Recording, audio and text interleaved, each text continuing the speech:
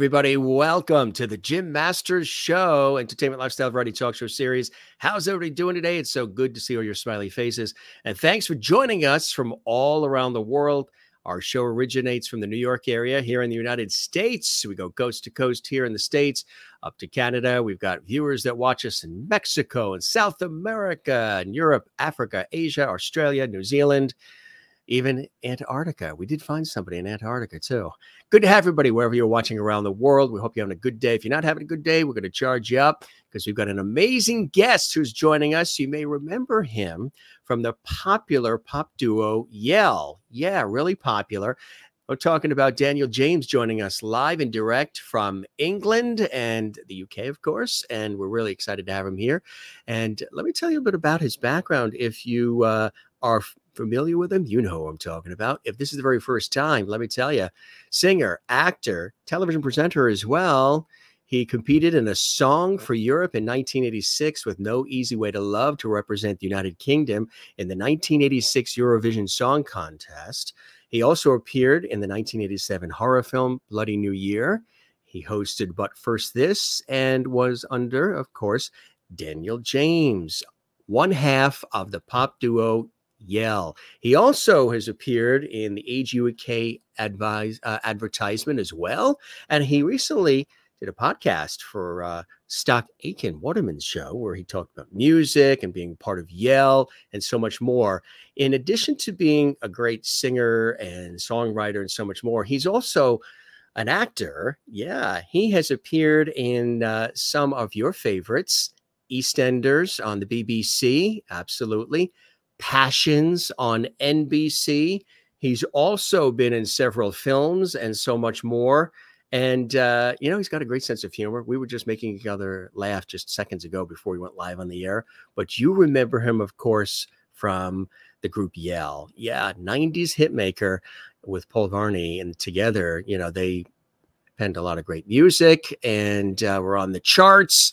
And then, uh, you know, he took a little bit of a break, and we're going to talk about all the cool things that he's been working on and all the cool things. There they are when they were Yell popular group again, and uh, and he is making music again, and really we're excited about it. This is um, set your spirit free. He also has Do You Remember? We're going to talk about that in just a second as well, which is another fantastic one. Daniel James, again, he's got a spirit for life. He loves people, he loves what he does. And uh, we're so excited that he's back out making music once again and sharing it. Uh, was away for a little bit and uh, is back in action again. If you remember him from Yell, then uh, I know you're super excited. And uh, get on top of a mountain and yell that he's on the show here because we're excited to welcome him. In addition, you know he's uh, he's talked about life too. He's talked. He's been very open. Talked about his life as well and the things he celebrates and he's passionate about and it's my pleasure to welcome him again live and direct from uh, beautiful England. And uh, gang, if you would like to comment during the show, feel free to do that. You can absolutely do that during the course of the show because uh, if you would like to comment, we have our lovely chat room. That is when the show's on. We have a uh, chat room where you guys can chat amongst yourselves, say hi to one another. Sometimes, you know, you even get a chance to sprinkle a comment or two on the screen. But if you want to comment right now, subscribe to our YouTube channel, which is Jim Masters TV. We welcome you to do that when you subscribe to the YouTube channel then that allows us to know that you're enjoying all the episodes. We've done almost 800 episodes of our series, which is absolutely amazing. And again, um, if you want to talk to each other, feel free to uh, subscribe to the YouTube channel. Don't forget to uh, give us a thumbs up and leave a comment for us on our YouTube channel as well. As I mentioned, coming to us from uh, England is Daniel James. He's got a lot of new cool things to share with us, so we're very excited to have him here. So put your hands together and welcome Daniel James to the Jim Masters Show right now. There he is. Hey, Daniel. Hey, Jim. Welcome. Jim, what a welcome. Listen, I need to take you with me. Can I can I hire you as my PR man to take you? That's the best build-up I've had since since my mother gave birth. and that was quite a build-up for you and for her. yeah. so my dad said. yeah, I was going to say. so thank you for having me. It's great to be ah. on board, and I, you know, hello to everybody out there. It's great to be part of your show. Thank you, and I love uh, your graphics at the beginning. Is that you sketching at the beginning, or is it? Actually, that's a uh, that's a renowned uh, illustrator who is a friend of mine. And mm-hmm. we when we wanted to uh, we had an older open, and when we wanted to change the open, I reached out to him. I said, you know, I want to do something different. What do you think would be good, popular? What would be, you know, in for now? And he said, let me tell you, retro is really, which is perfect for. I was You're say, talking to me. He said, talking to me. he said, retro is so hot right now with everything. So he said, let me do this. I'll put some ideas together. And, uh, and and that's actually the blending of two things. The the part where you know he is uh, doing sort of the sketch and the color of the uh, the animation of the Jim Master show with the uh, that's actually an I Dream of Jeannie bottle that smoke comes out of because we have the genie bottle like right there from the TV series, and so that was one separate entity. And then he wanted to create the logo and illustrate that. So he illustrated the logo and we sort of merged the two things together. And then I said, I love the logo. It's very, you know, when we were looking at different versions that he put together, and he said, Yeah, retro's in. So he created that retro design. And then, but it was stagnant. So I said, Gee, I'd love for it to sort of pop out of the screen. You know, that since this is visual and I come from TV and everything, I would really love for it to sort of pop out of the screen and move. He said, Oh, well, I'm an illustrator, but I'm not an animator. But my that daughter. Cost, that would cost you another 50 bucks. That would be another 50 bucks. Yeah, that it was not cheap, that's for sure. And I got the friendly the uh, family and friends discount, and it still was up there. As we say, as we say in England, you got mates rates. mates rates, exactly. And uh, or the bloke bargain. so uh, he was at the time he designed the logo, he was um, he was working on the cover of Aerosmith's album, uh, wow. like a album that they were doing, a retro album. And so he said his daughter does animation, and she does it for the Tonight Show with uh, Jimmy Fallon on NBC. Let me see if I can get her to animate it. So she then took it as the still and she animated it brought it to life and then we put it together from uh, from there. Yeah. It's really i mean what a really classy background. The only thing is slightly um you they've made you look a little bit like george bush jr when he was young. So that's a compliment you know. Look what happened to him you know? He made it he made it big. Yeah so it bodes well it bodes well you know Nuclear. so you're in England right now. What part of England are you in? Are you in London? I'm in a very old part of England called Spitalfields. Sorry, I'll just wipe the lens of the camera. I was there. just about to say, uh, did you uh, say something? It's a very, um, it's very old. I live in a cobbled street, and strangely enough, in my street, I won't tell you the name of it, but in my street, there was a New York man called Dennis Severs. And if you Google Dennis Severs, he has a house and everything in it is as it was in Dickensian times. Wow. And every first Sunday, I think it's every first or second Sunday of every month, people come from all over the world and they stand outside and you look up and it's three stories and you see the windows and you can see like Victorian characters looking out of the windows. And when you go in, it's all coal and it's all as it was exactly in Dickensian times. Because where I live, it's where Charles Dickens wrote Hard Times, Nicholas Nickleby, and all, you know, his books and stuff. So I live in a very historical area. I mean, I don't know what I'm doing here, but you know. you know, we were talking about um, you know, at the time of this airing of the broadcast, uh, a very busy several weeks there in England with the passing of Queen Elizabeth uh, II. Uh, the whole world stopped, and you've been there, you know, in the, in the thick of it there in England. What's the mood? What's everything been like there for you guys there? I think whether you're a royalist or not, and I've got some friends who are, um, they're not wildly Republican, but they're they're not really that mad the, about the royal family. But even they were shook. I think because it was a lady that, you know, was an old lady, and we've watched her age. And um, I don't think you'd have to have the hardest heart in the world not to feel very sad when an old lady passes, but a, and especially an old lady that's that's um, worked so hard and she believed in something very old-fashioned, which isn't very common these days, which is duty. She made that vow when she was in her early 20s that she would devote her life.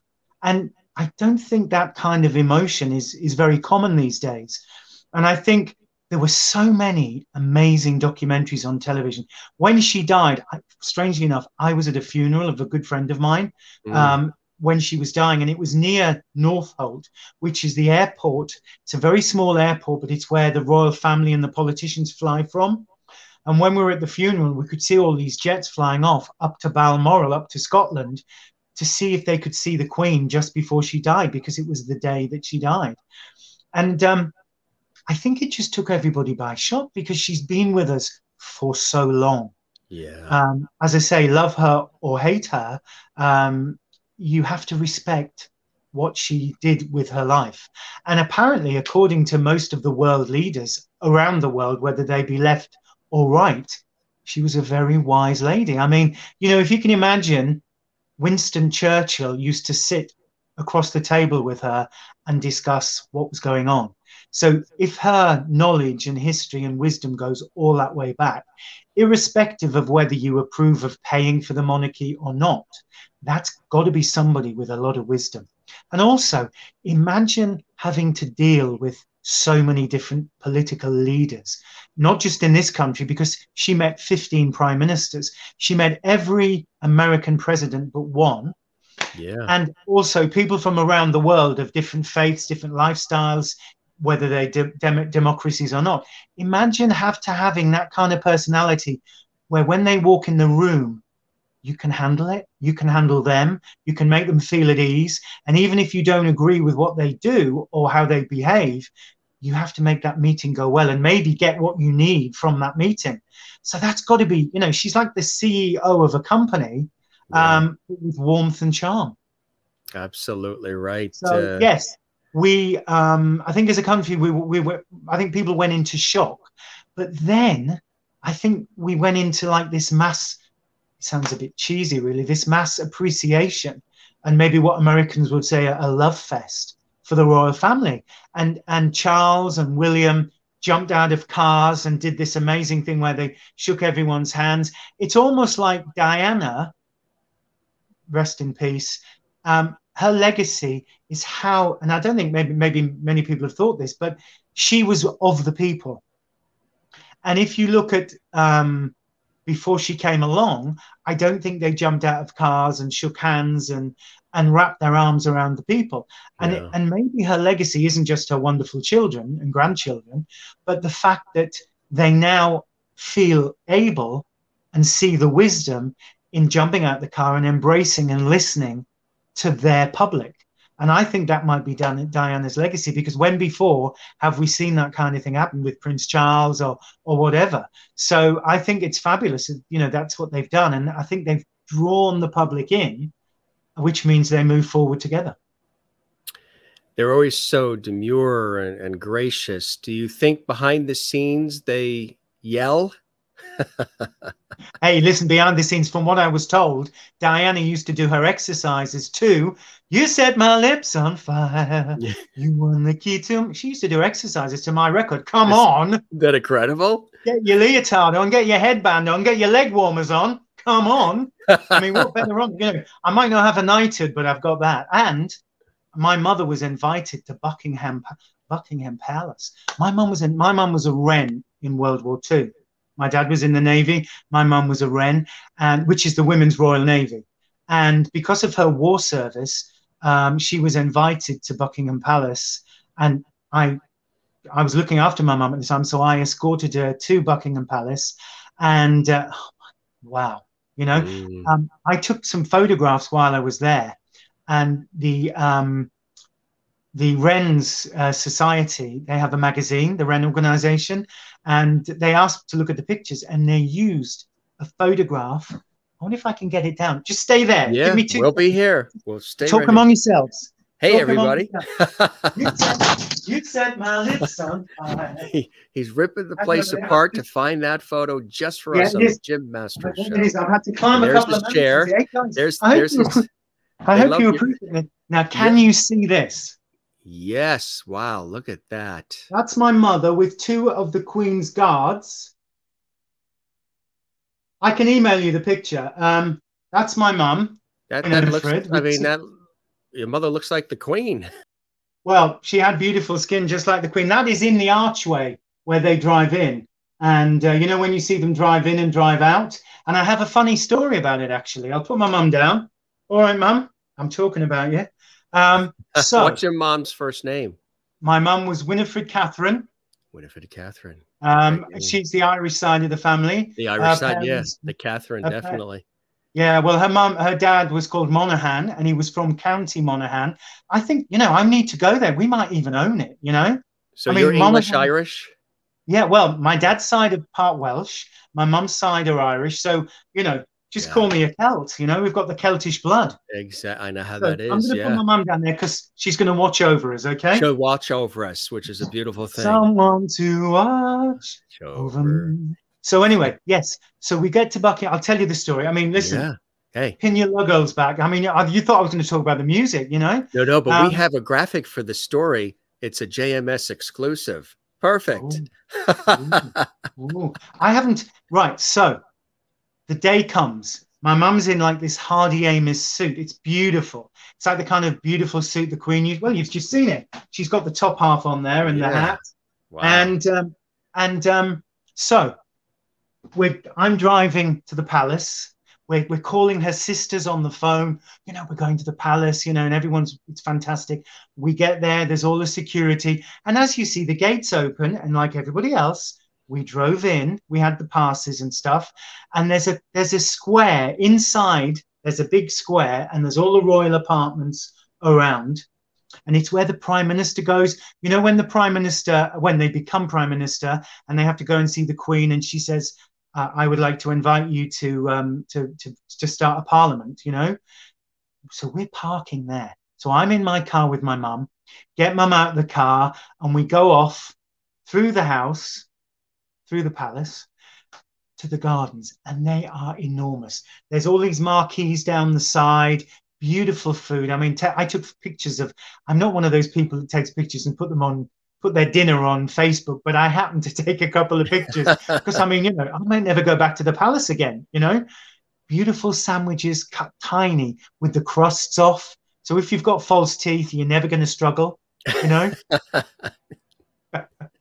and beautiful cakes, beautiful cups of tea and coffee. And of course, I'm northern, you know, with some Irish in me. So I love I love my Yorkshire tea. Keep hoping they're yes. going to send me a box, you know. I was um, going to say that's where the Masters hail from, the Yorkshire area. Yeah. You What you? Where did you grow up? What part? I grew up in the northeast of England in a town called Hartlepool and it, uh, also in a town called Sunderland, uh, who are famed for their shipbuilding. My granddad, James, James Shipley Richardson, was a shipwright carpenter and it went down through the family. So, anyway, Beautiful country up there. Yeah. rugged. Beautiful. If anybody watches the TV series Vera, maybe it's on PBS, I don't know. They they shoot in Northumberland and in um, Teesside and County Durham, all around Hartlepool, Sunderland, and we have the best beaches. Unfortunately, we only get the sun for like an hour a year. So is it cold? Is the water cold? It's it's what we call over there nippy. Nippy. Yeah. Yeah, A little nippy. which do you know where that rate comes from? Yeah. So um, what what Madonna's husband called her raspberries. Um, right. raspberry ripples, Cockney of rhyming slang. Yes. Anyway, listen, we're a long way from the we're a long way from Buckingham Palace, right? So we're in the we park the car, we go in, we have the most gorgeous afternoon, and I take my mum round the grounds. Boy, massive. You know, there are tennis courts at the bottom of the gardens in Buckingham Palace. Who knew? And they're quite old fashioned tennis courts. So you kind of look at them and you imagine the royals and the guests of the royals from centuries who've, you know, played tennis on those courts. Beautiful little private gardens, secret little places. So we had the most wonderful time. Of course, saw the Queen, it was all wonderful.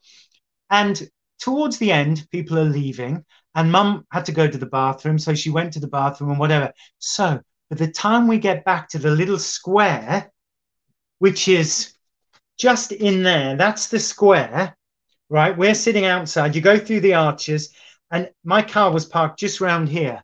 So we walk back in, and lo and behold, my car is the only car left in the square.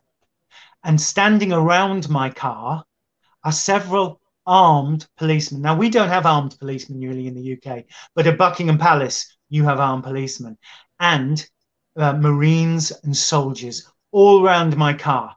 And my mother and I look at each other and I kind of gulp, you know. And um, as we get near, my heart's going like this, you know, boom, boom, boom. As we get nearer, um, this very official voice says, Excuse me, sir, this is your vehicle?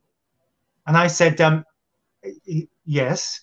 And he said, Okay, fine. We were getting rather worried, sir, that um, there may have been something very suspicious going on here. They obviously thought there was a bomb in the car, and the car uh-huh. had just been left. You know, talk about last people at the party to leave. Yeah. You know, yeah. um, I was that busy stuffing mugs and you know souvenirs in my pants. Anyway, I wasn't. Don't worry, I haven't. Yeah. Um, but anyway, so the sense of relief is enormous. And of course, they see my mother who looks beautiful and serene and lovely with the hat. And so they're suddenly fine. So they take a step back from the car. And I mean, these are big guys. You know, these yeah, are big security They guys. mean business. Machine guns. You know, had I put a foot wrong, I'd be dust. Yes. Anyway, so I my, get my mother into the car. I get in the car and I'm kind of looking at him thinking, you're not going to believe it. The car doesn't start. Oh. Can you imagine? Can you imagine the heart, yeah. the ticker? You yeah. know. So yeah. I try it once, doesn't work. I'm saying, Mum, don't worry, Mum, it'll be fine. Don't worry. Start twice, doesn't work. Uh-oh. I start to look around now, and the guys are now turning back and coming back towards the car. You know, and I'm going, please start a third time. Third time, well, this time I flooded the engine now. Yeah. There's no, there's not, a, there's not, a, there's not a peep out of the car. My mother's looking at me like I'm the biggest disappointment in the world.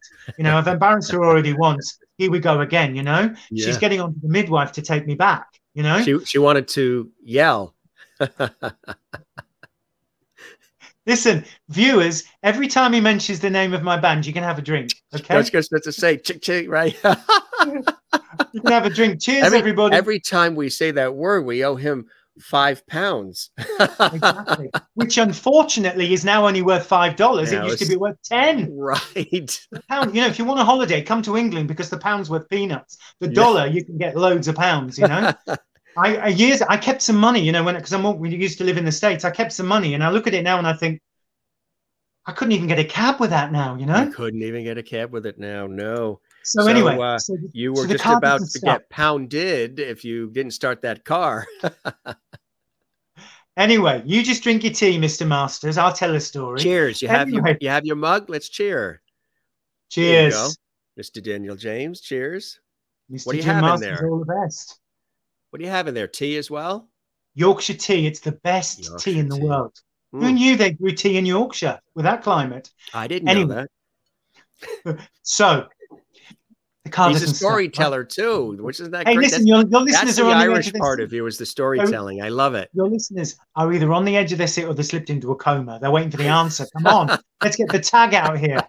So the guys are turning round and they've got the big, you know, they've got the big uniforms on. I mean, these are fearsome guys. They're now walking back to the car. You know, if this was a movie with Steven Spielberg, it'd be going dum dum dum yeah. dum dum yeah. dum. You know, the old ticker's going. You know, third time it doesn't start. So then I roll the window down, and he says, "Having some trouble there, sir? Are we?" Mm-hmm. And I said, um, "Yes." And uh, uh, uh, uh, you know, the car won't start. So he says, "Hmm."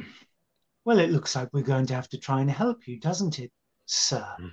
So he makes me feel about this big, you know? Yeah. So yeah. suddenly, um, there are, he, uh, then he says to me, I, then they all get behind me, right? So there's guys with machine guns, there's big policemen all behind the car. And he says, Right, we'll push. When I shout, you start the car. So they're pushing. And my mother says to me, What's that banging noise? Because all you can hear is What's that banging noise? you can all just hear this banging noise, you know, and and suddenly we realize a little loose. no, no. How dare you say that about my mother? No, no. She's just sitting here now, you know. No, seriously. It's not that. It's the machine guns. Yeah. As they're pushing, the machine guns are banging against the back of the car. Not a very reassuring feeling for me, No, you know? no. Anyway, so the car still doesn't start. So now we're going round in a square, in the square with the Royal Apartments up. I happen to look up and I swear to you, I swear to you, the curtain went back and I'm positive that Queen Elizabeth II was looking down. And I said to my mother, Yeah. Van Gogh's any knighthood for me. You know? anyway, the car's still not starting. So Ah. obviously, the, obviously the big guy, you know, the big guy, you know, he says, uh, "Do you think I better get in, sir?" So I step out of the car, and the big guy gets in. Well, of course, he's got legs this side of Christmas. yeah. You know, they're practically wrapped around the steering wheel. He's got the boots on. He's got the spurs. You know, they're clanking. I think my mother was happy, but you know, I wasn't Yeah. too happy. anyway, so we then, I then stand in the middle of the guys with the machine guns, watching the clanking, because now they're not only clanking against the car, they're bashing against my leg, right? So we're pushing the car round Buckingham Palace. My heart's pounding. We go round three times. Seriously, I was in a band. We sang "Let's Go Round Again." I tell you, I was humming it.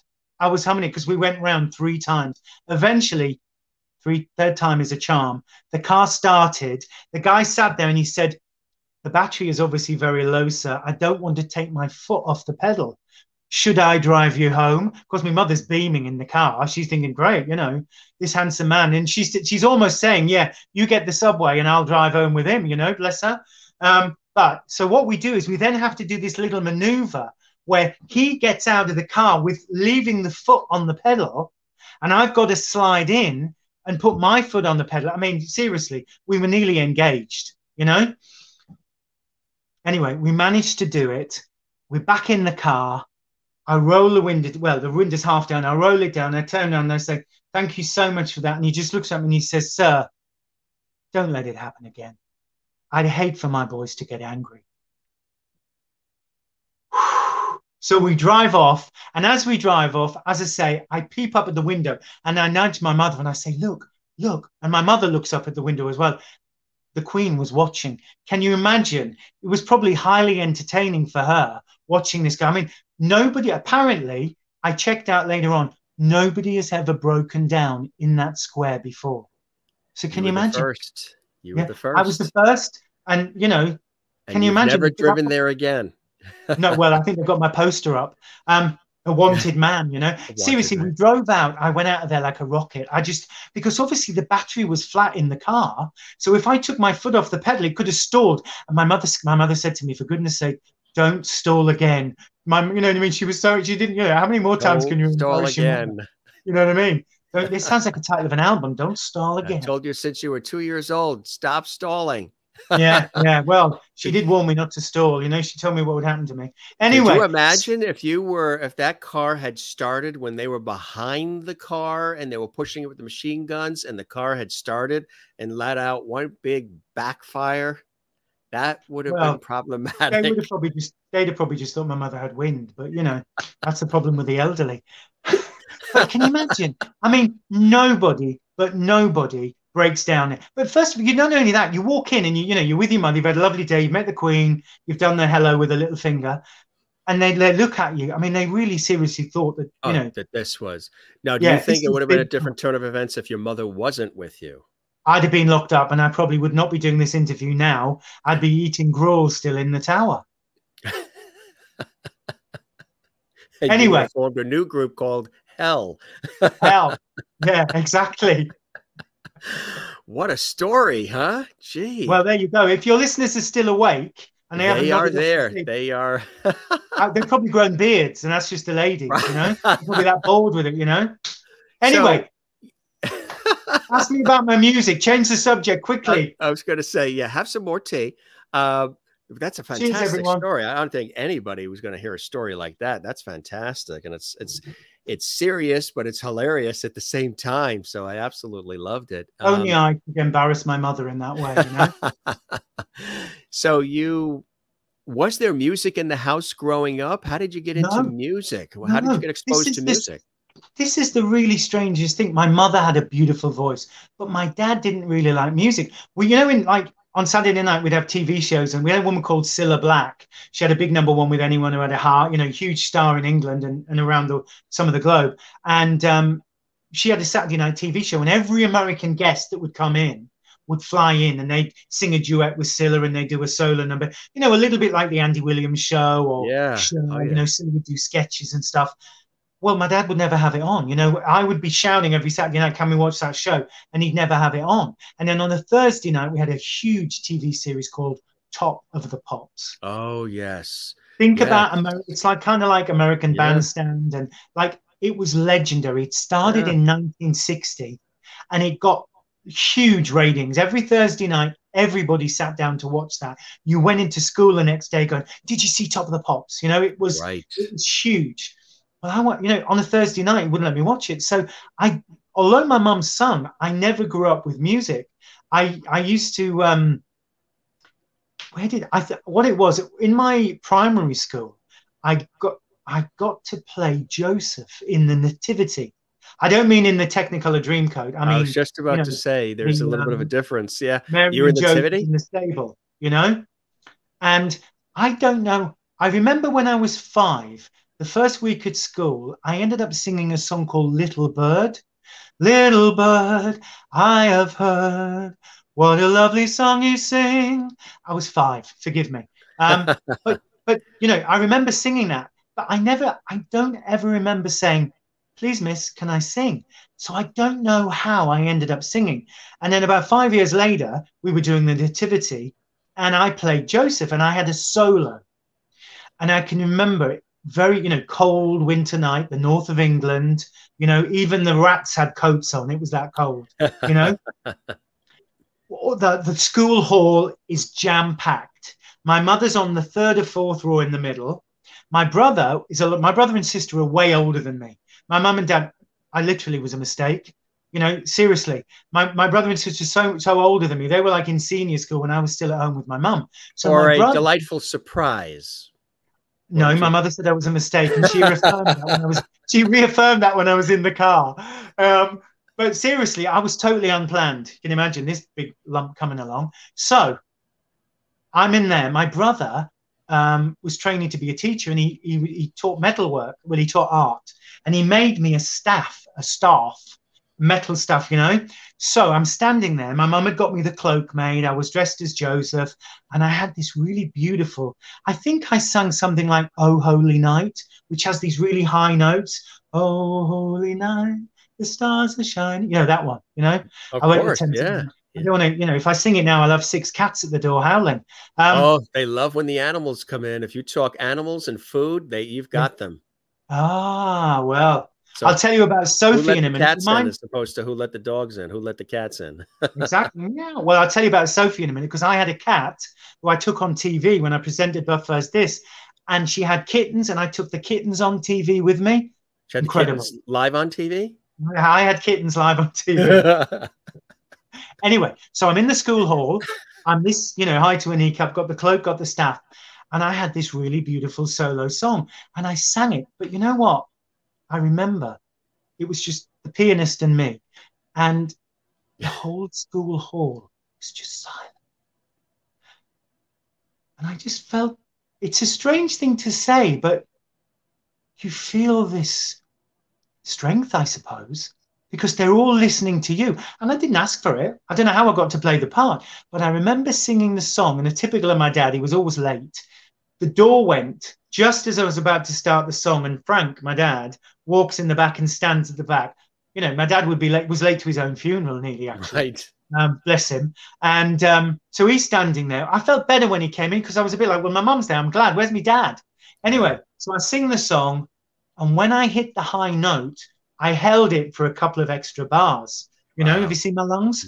And um, they, they just they just gave me this ah this big cheer and i suddenly felt this really great feeling And I knew then that I liked that. And I think that's what stayed with me when I went into senior school. But the worst thing about senior school, talk about the universe like giving me a kick up the kick in the you know what's because I get to senior school and I'm a big lad. When I was um, when I got to about 12, 11 or 12, I, I wasn't very tall, believe it or not. I'm over six foot now, but I wasn't very tall. And I, I started to eat and I got wider. So when I was in the senior school, the rugby teacher, now in the States, you probably don't know what rugby is. It's kind of like a little bit like American football um, without the helmets. And um, but you play it on very but cold. It's a rough sport. And well, That's a rough sport. Yeah. Yeah, it's hard. Tough, like yeah. I'll tell you a quick story. I remember where I'm in the class and the uh, the rugby teacher comes in. Oh, so the rugby teacher also runs the drama group, right? What an so interesting says, you know, uh, dichotomy. well, he says to me, you know, he says, you know, uh, I hear you can sing, I blah blah blah. You were Joseph in the blah blah blah. Um, do you want to be in the drama group? And I said, yeah, cool. I, I, you know, it'd be great. He said, yeah. He said, and he looked me up and down and he said, only if you're in my rugby team. Well, the rugby team, I like football, which is soccer. You know, right. I'm soccer. a big soccer fan. My dad had trials for Sunderland when he when, when before I was even born. My dad played. My brother played for like England team, university teams. So that kind of thing is in our blood. You know, my mum and dad and I we always watched this the soccer, the football. So rugby was a no-no for me. I wasn't interested, particularly when he insisted I go out for a, a trial with the team, and there are stud marks in the icy ground. And this guy runs past me and tackles somebody. So you grab them by the waist from behind, drag them down, bare knees, you scrape them along this hard, icy ridden floor. So we get in the showers, all the lads are in the showers after the match, this match is over. And I look down and I said, Steve, look at your arm. Mm. He had two teeth embedded in his arm where he grabbed the guy who'd gone past his mouth and he pulled the teeth. The teeth were in his arm. So when I saw the teeth in the arm, that's when the penny dropped. That was. I don't think I, don't think I want to do the rugby. So I politely said to Mr. Grattan, I didn't want to do the rugby. And he said, he was this big Welsh guy. And he went, Boy, you don't want to do the rugby. You don't do the drama. By the way, he was um, Welsh going on Brooklyn, you know? yeah. So I couldn't do any drama. So I get one song in the infant school, I get one song in the junior school, and the whole of my senior school, I get no performing arts at all. Wow. So where on earth I, you know, where on earth? But I did get into the National Youth Theatre, but my dad wouldn't let me go. So that was another thing. So I think I'm basically here you know, you know, Phil Collins had a song called "Against All Odds." I think my gravestone would probably have "Against All Odds." Against all odds, right? Huh? Yeah. So anyway, that's a little potted history, um, which you know you didn't really want to know. No, that's fantastic. I mean, yeah, absolutely. So you said to me, "How did I get into singing?" And I genuinely don't know. I did have a band at school, very briefly. Uh, I want you to try and guess the name of the band.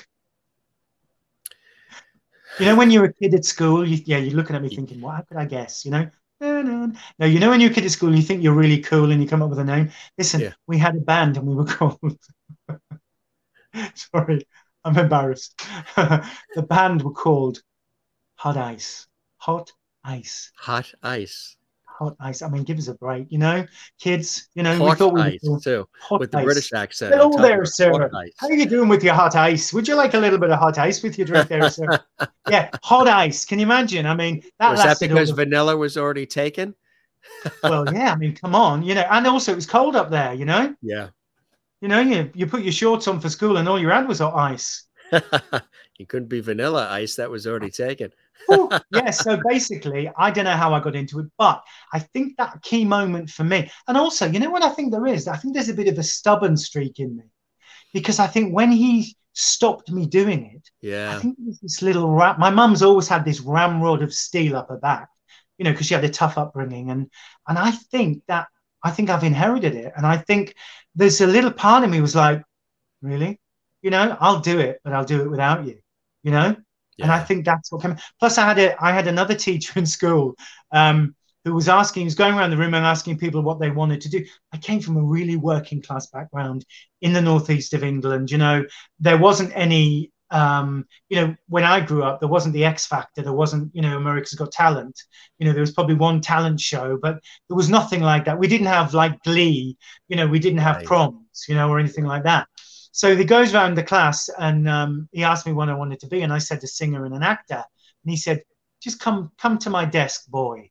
Come, to, you know, like Charles Dickens, you know, yes. come, come to my desk. But you can see what kind of school I went to, can't you? Yeah. Anyway, he said to me, he said to me, um, yeah, he said to me, tell me again what it is you want to be, boy.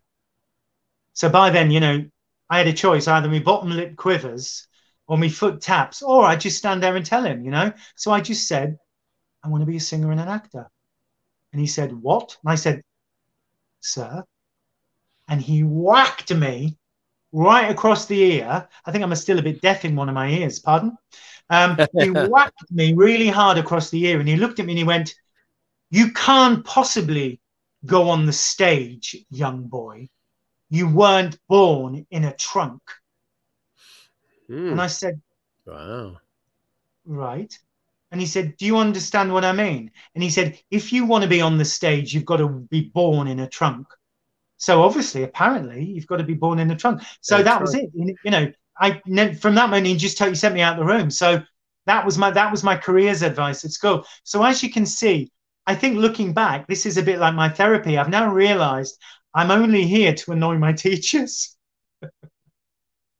and there's probably a real career I should be doing. Probably if they'd said to me, of course, Daniel, yeah, you can be a singer, you can be an actor, I'd have had nothing to rebel against. I'd probably be an accountant. I'd probably have more money if I was an accountant. but you definitely, you know, you took the bull by the horn and said, "Hey, this is what I want to do." What was like one of the first opportunities for you that was a pivotal well, moment in your career where you started to get some notoriety? Well, I had notoriety anyway at school after that. Yeah. But seriously, seriously, there was nothing where I lived. When when I was young, you had to leave the small town and you all had to go to London. So I moved to London and um, the first job, I, well, two things came at two things came at the same time. I played Bassanio in the Merchant of Venice at the Young Vic for the Young Vic Youth Theatre when I was, I think, 17. Can you imagine? Sir Laurence Olivier, they'd all been on that stage. That's right. And I'm on the stage at the old Vic, Richard Burton, you know, Ralph Richardson, you know, I, I mean, come on. So that playing Bassanio, I mean, my mum and dad came, the family came, it was amazing, and full costume, everything. That kind of gave me the belief that that it was possible. But a very a very nice thing happened. I got a small part um, when I was 17 in a movie called Ragtime. Mm. James Cagney. Yeah. Um, Norman Mailer.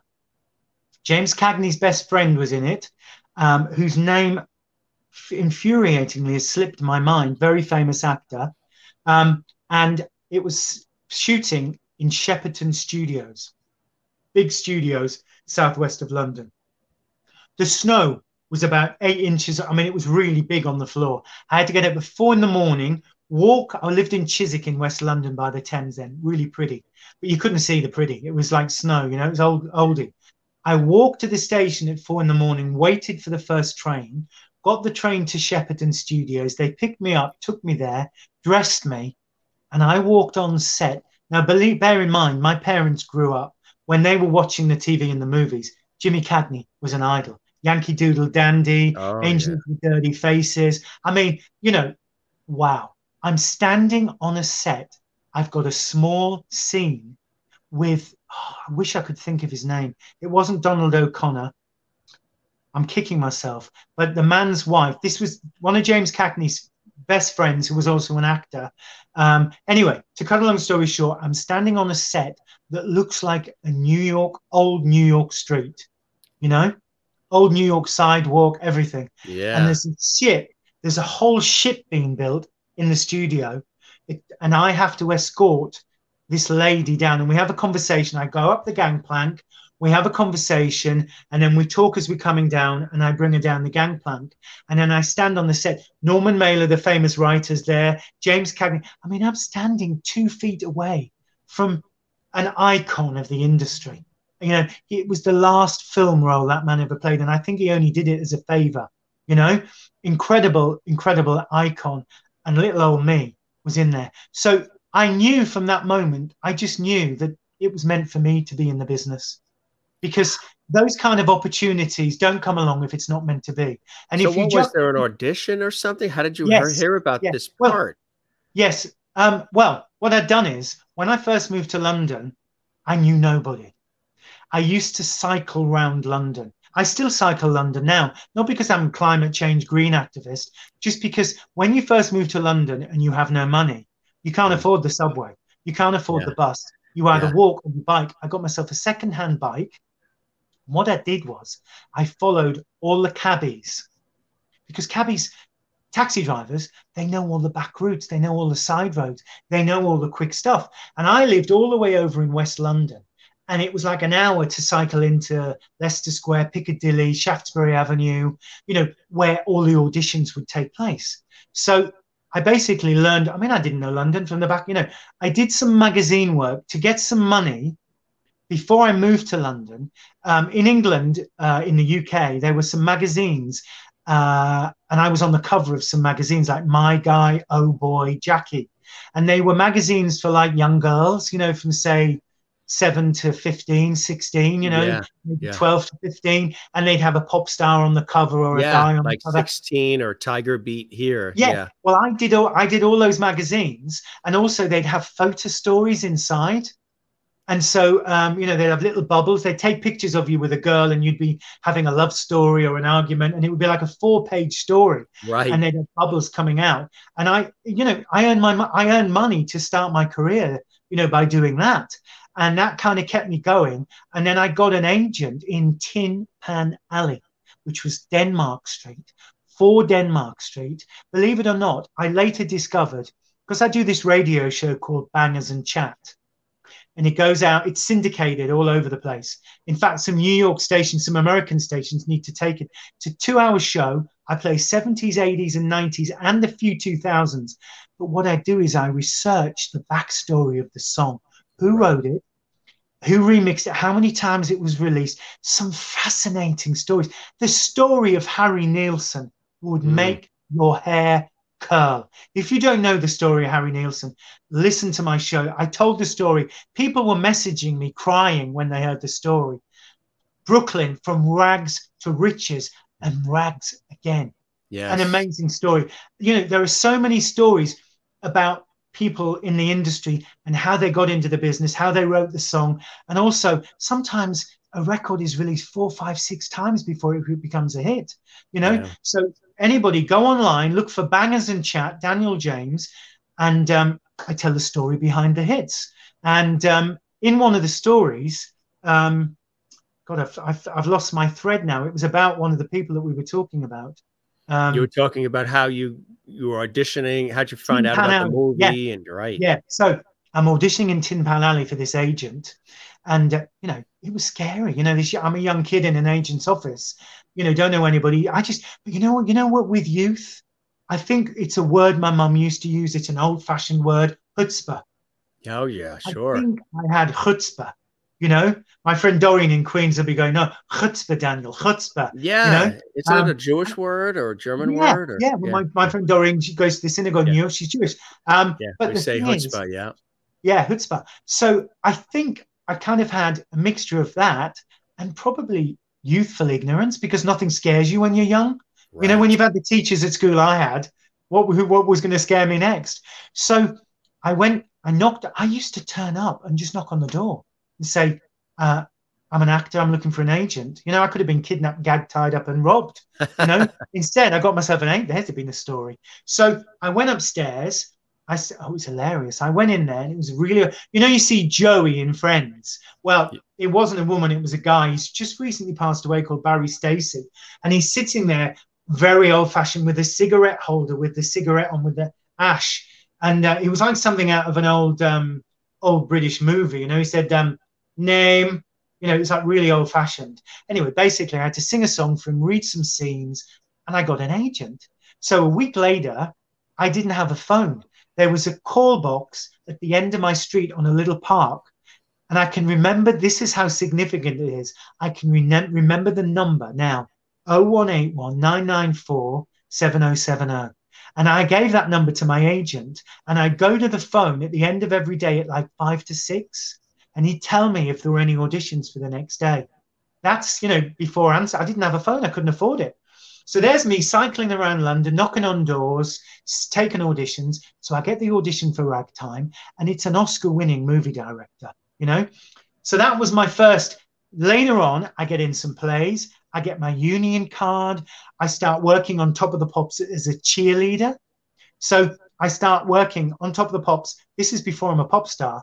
Um, basically, the, the TV series was huge, but the audiences were kind of just, yeah, yeah, impress me. Yeah, right, impress yeah. me. So they hired a bunch of us to get among the crowd and get them going. And I then got asked to present the warm up. And basically, before the show started, I did the warm up and got the show started. And that's how I got my first record deal because a guy came up to me and he said, Do you do anything else? And I said, Well, I, I, write songs and I act. And he said, Come and see me at my studio. He said, We've just made a shed load of money on a record and we've got money to spend. And I went to see this guy called Ray, and he ended up recording a version of Bobby Darin's hit, Dream Lover. Dream Lover, where are you? Remember that? Of course you do. Everybody knows that record. So I did a version of that, and I went away up to Scotland to be in a in a show. And I was in a theatre show in Scotland for two months, and they called me while I was up there, and I, f- I flew down to London because I was rehearsing on the Saturday, had to be back on the Sunday. Flew down to London, recorded during the night, flew back, carried on with the show, and I'm doing the show and it comes to January and they, they phone me up and tell me they're going to release the record for Valentine's Day and it's going to be a white heart shaped record. Can you imagine? Mm. First record out, white heart shaped record, Dream Lover. I'm in a record store two weeks before my record comes out. Now, when you mentioned the Eurovision Song Contest in my introduction, there was a lady that won the Eurovision Eurovision contest called Dana for Ireland. She was only 13 or something, 14, a wee girl, and she sang a song called All Kinds of Everything. Well, that launched her career. Like ABBA, she went on to have a big career. So I've doing the theatre show. I've recorded Dream Lover. I'm in a record store, and of course, I love record stores. You know, you thumb them, you look at the label. Oh yeah. The producer, the writer. You know, I feel sorry for kids these days. You know, you download. Yeah. Thrill in a download. spend hours in Tower Records. Yeah. Yeah, yeah, yeah. I mean, yeah, I miss those days. So me I'm too. in the record store, I'm thumbing it, I'm in their ages, the guy's looking at me, you know, I'm taking root. And the ra- he's got the radio on in the background. So I'm listening, and the DJ says, "Hey, this is the new single from da- from uh, Dana, Dream Lover." Dana brought a version of the record I was releasing. She brought that out well, that was my record sunk. Didn't matter it was, it was a heart shape that set on fire, that spun round. It wasn't going to get anywhere. So that was my first single down the pan because a famous person brought a version out two weeks before mine two came out. Two weeks before. Isn't that amazing? So I skulked back to London and then I was in a play called uh, Streetwise, playing this really hard thug, this garage mechanic, you know, real tough guy. And I had a song called Purrs like a Rolls, as in like a Rolls Royce. And I got a call from my agent to go and audition for a movie called Yentl. Barbra Streisand. Can you hear me? Can you see? Yeah. So Lee International Studios in Wembley. Funny enough, later on we ended up when I was in Yell, we recorded a Japanese TV show there. But Lee International Studios, Wembley, they were using that as one of the studios. I turn up, and um, I was dressed as kind of like a Jewish student, little glasses, you know. I mean, it's not too much of a stretch for me. And um, I mean, I can read. Unjust. Um, and I have a papa. Um, well, I did then. Anyway, so I turn up at the studios. Where's your yarmulke? And, um, and uh, well, no, not quite. Um, but anyway, I do the gags. Anyway, actually, right. I, actually, I don't. You do quite a few. We made a good, a good team. We should do a double act. Uh, Anyway. it's that English Irish thing, I tell you. Quick, quick, quick.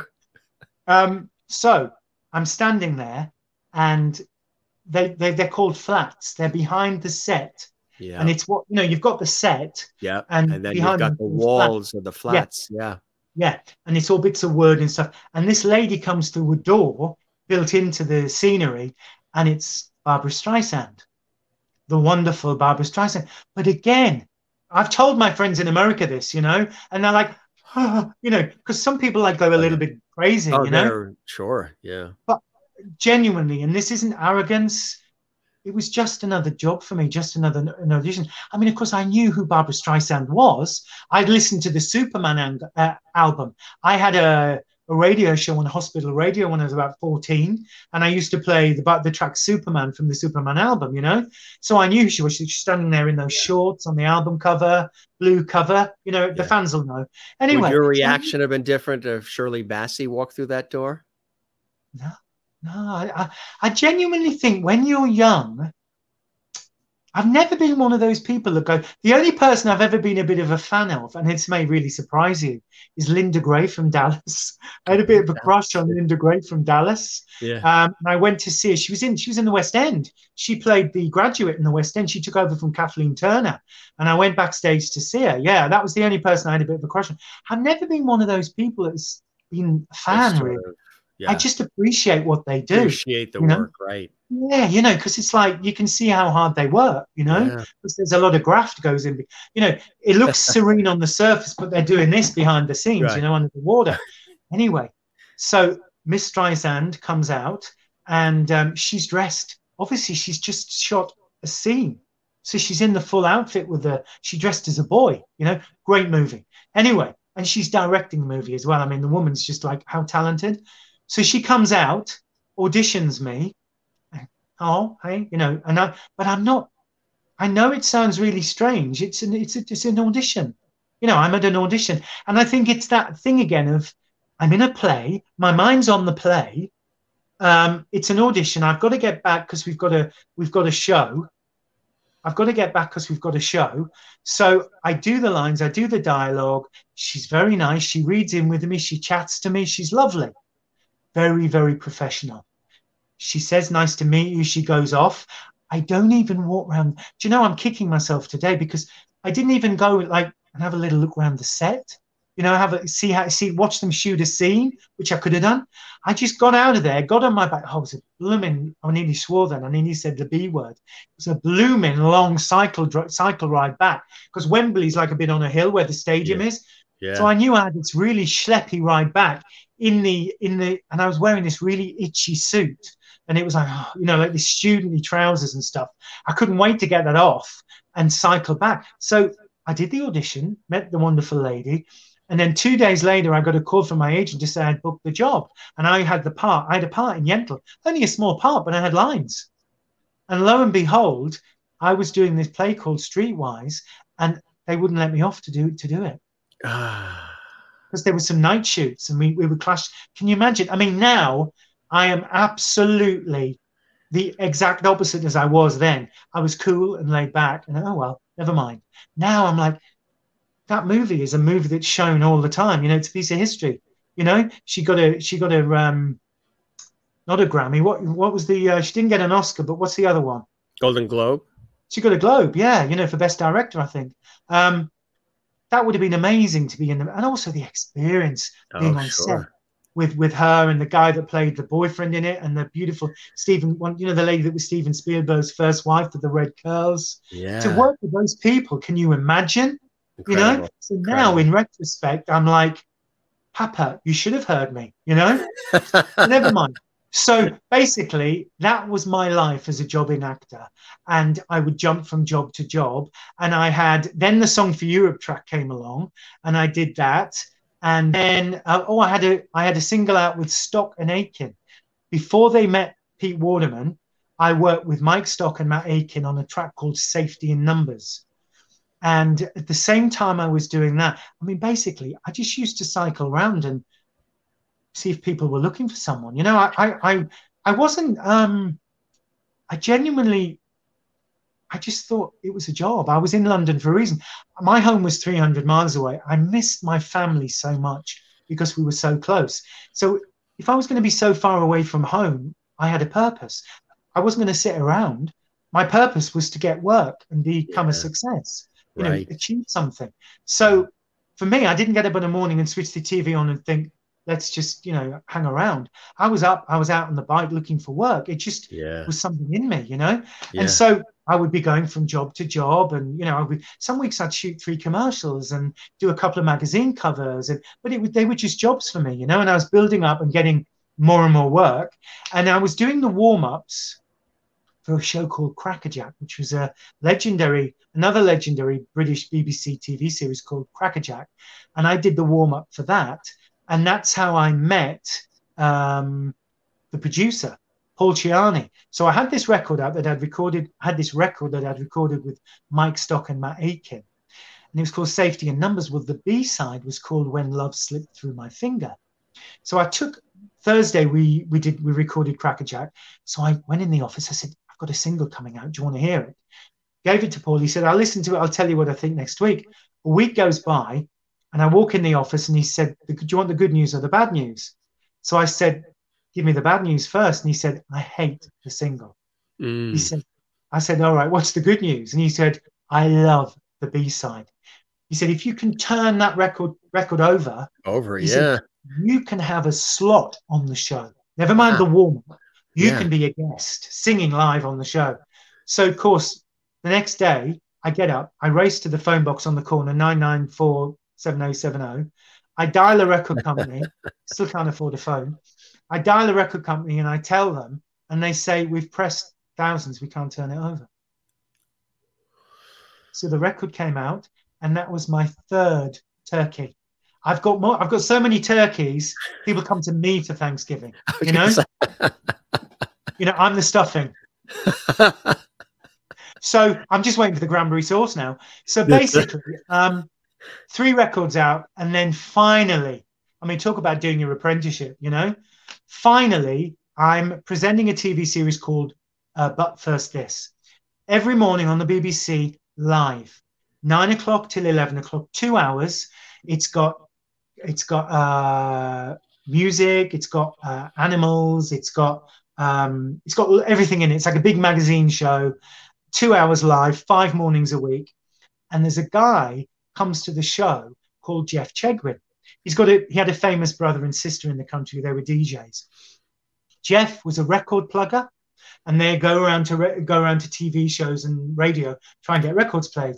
And I chatted to him a few weeks, and you know everybody comes in, you say hi, what record have you got? Thought nothing of it. So I'm coming to the end of the contract to do the TV series. In and um, one week I'm sitting there as a matter of interest. It's live. I've got an earpiece in, and I the um, the editor comes on the floor and he says, "Got a bit of a tricky one this morning." He said, "There's a summit in Moscow." Reagan and Gorbachev. He said, "The continuity man hasn't turned up. You're going to have to go live from your link to Reagan and Gorbachev." Now, bear in mind, I'm a kid on the BBC, and I know that there's a monitor in every office in the BBC. This is the BBC. Yeah. You know.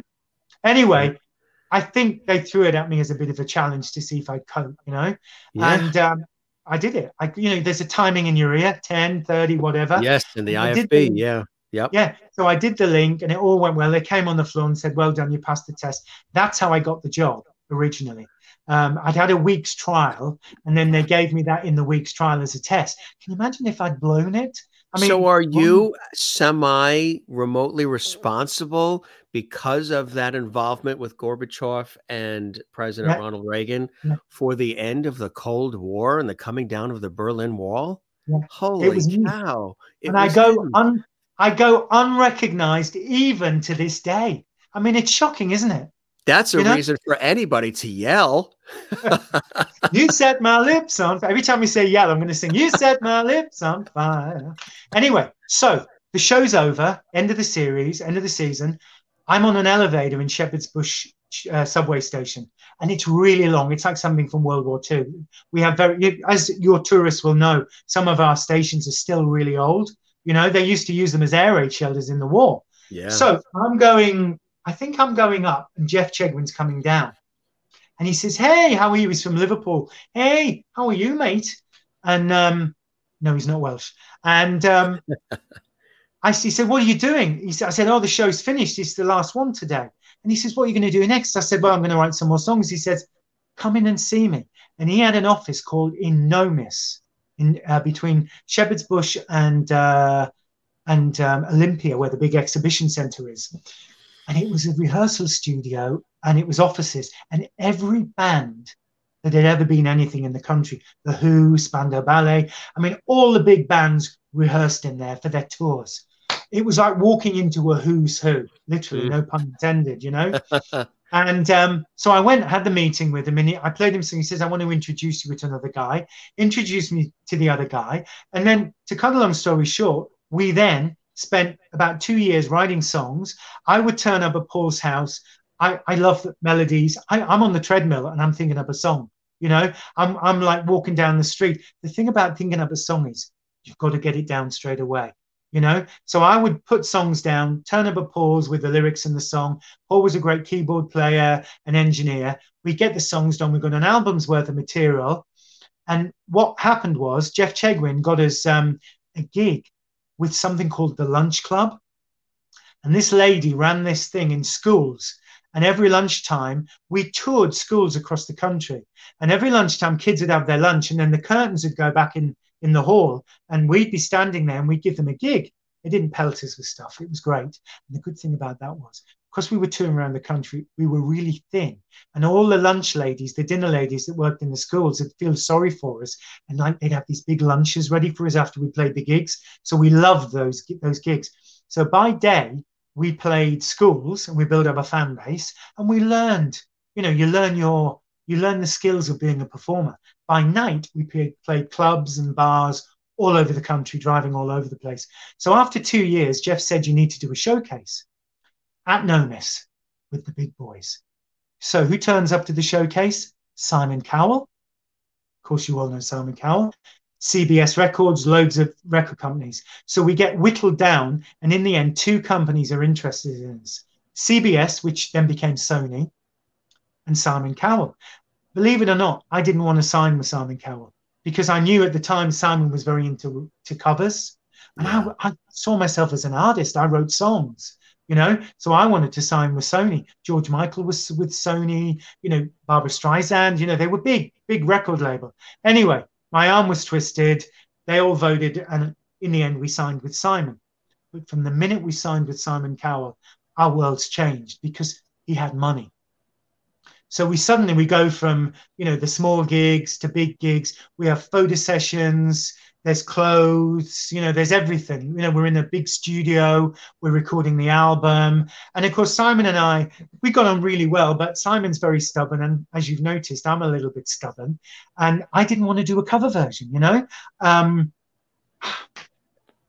we we we we butted heads several times. And he always listened but of course it's his money it's his record company. We've signed to the company. There's you know i can't exactly go on strike. So we're doing the gigs we're doing the photo sessions and we're recording songs. And i used to say you know simon we've written this new song do you want to hear it? And he's you know he was he wasn't he wasn't wildly enthusiastic you know he was he was looking for covers and he couldn't find the song. I'd say to him what about this song? What about that song? Something i'd written. And he'd say yeah it's great. And i kind of got a little bit disheartened. And I, I remember saying to him one day you know do you not like the songs? Do you not like the songs? And he said come here. Went over to his desk and um, oh i'm going to have to plug my phone in I've just noticed that the uh, battery's going down. Is it? That happens to everybody. Excuse me for two seconds. Do forgive me. Oh, no, you wouldn't be a guest on the show if your battery didn't conk out. yeah. Dear me, I'm so sorry about this. No, that's fine. Um, that's fine. That's so. Right. So Simon and I are kind of butting heads a little bit in a nice way, um, and um, he says, come over and listen to this. And he played me. It was the day when we had answer phones at home, you know, voicemail. Yeah. It'd be nice if I could get this. Answering machines, right? Exactly. Yeah. And he, ah, I've got it in. How am I going to balance that on my knee now? So basically, Simon then plays, says, dial this number. So I dial the number and it's his home at that particular time. And um, sorry, I'm just going to get this to rest on something so it doesn't fall over. Um, yeah. So Simon plays me. It's his voicemail, and whoop, and um, yeah. Uh, can you see me still? We still see you and hear you. Yeah. Good, good. People are probably throwing stones at the telly by now. So lo and behold, um, let me just check the battery's charging. I don't want you to go off. Right. So lo and behold, um, Is that a yes? Does right mean yes? I like that. Right. so he plays me the answer phone, and lo and behold, he has. Guess what comes on?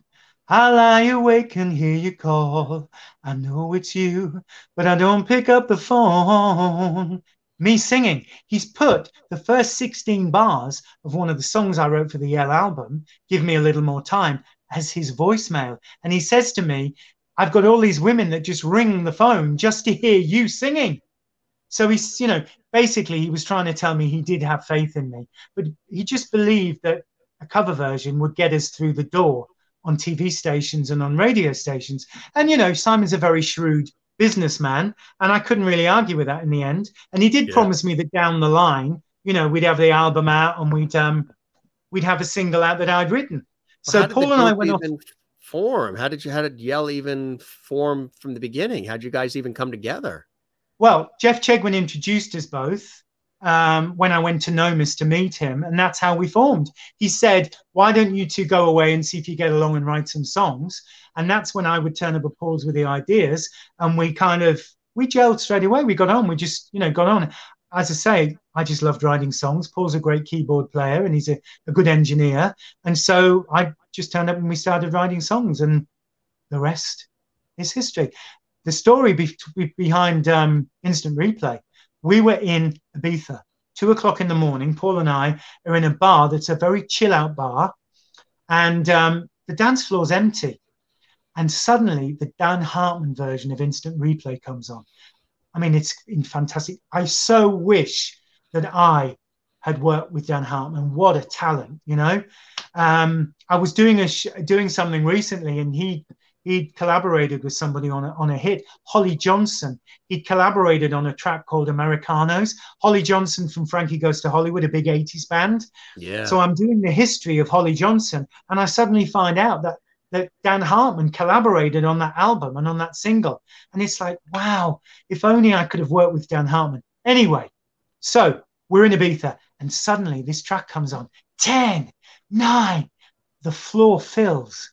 And I said to Paul, you know what? Simon wants a cover. This is the cover.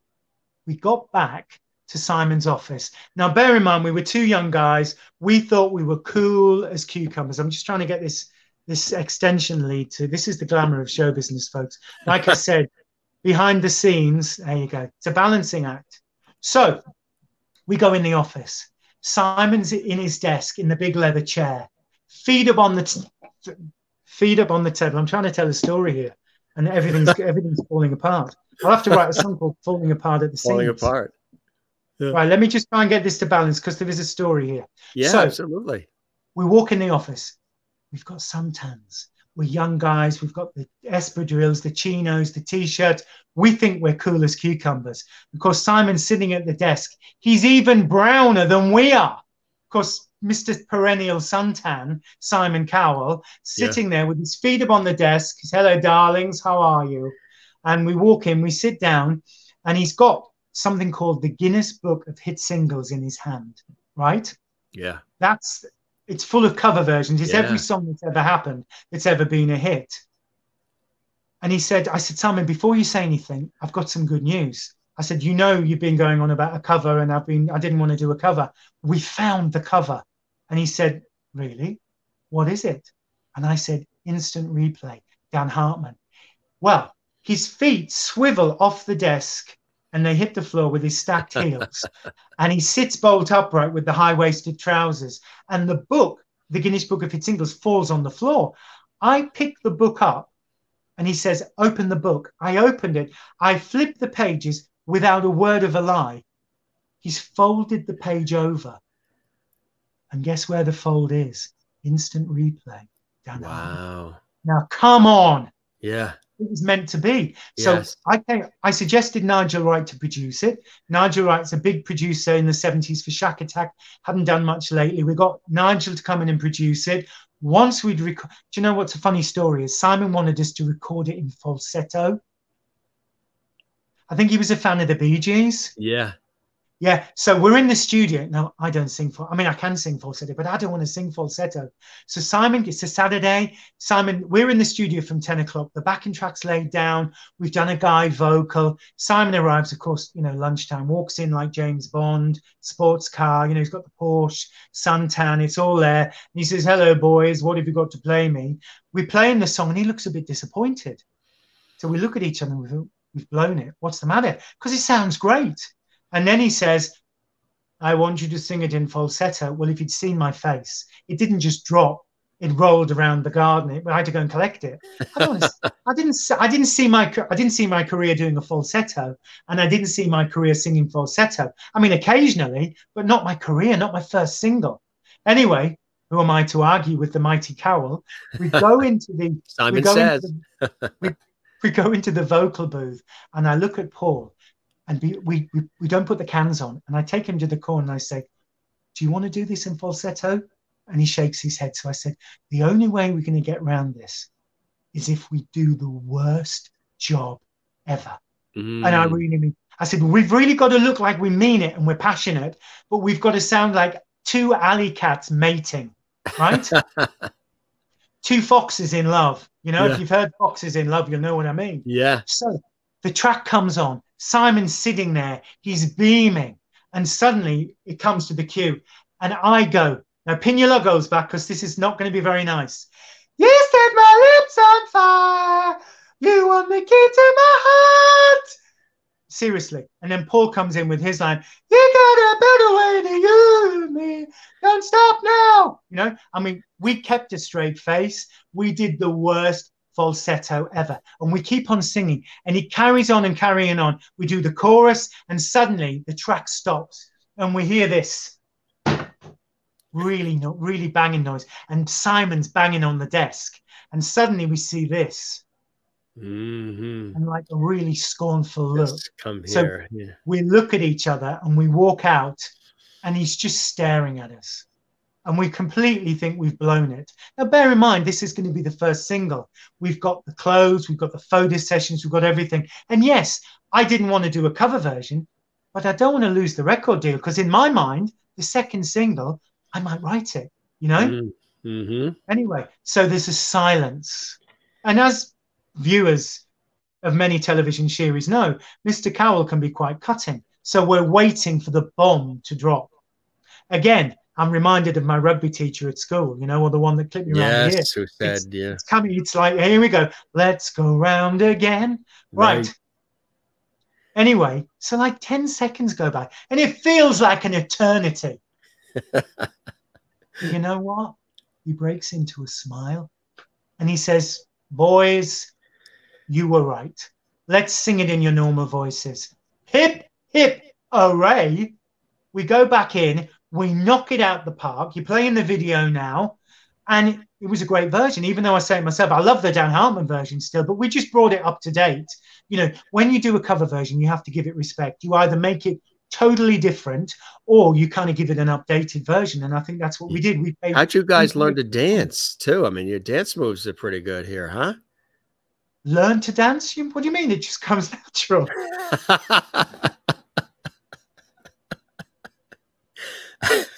Have you not watched Do You Remember Me? Oh, excuse me. Excuse me. Let me reword that.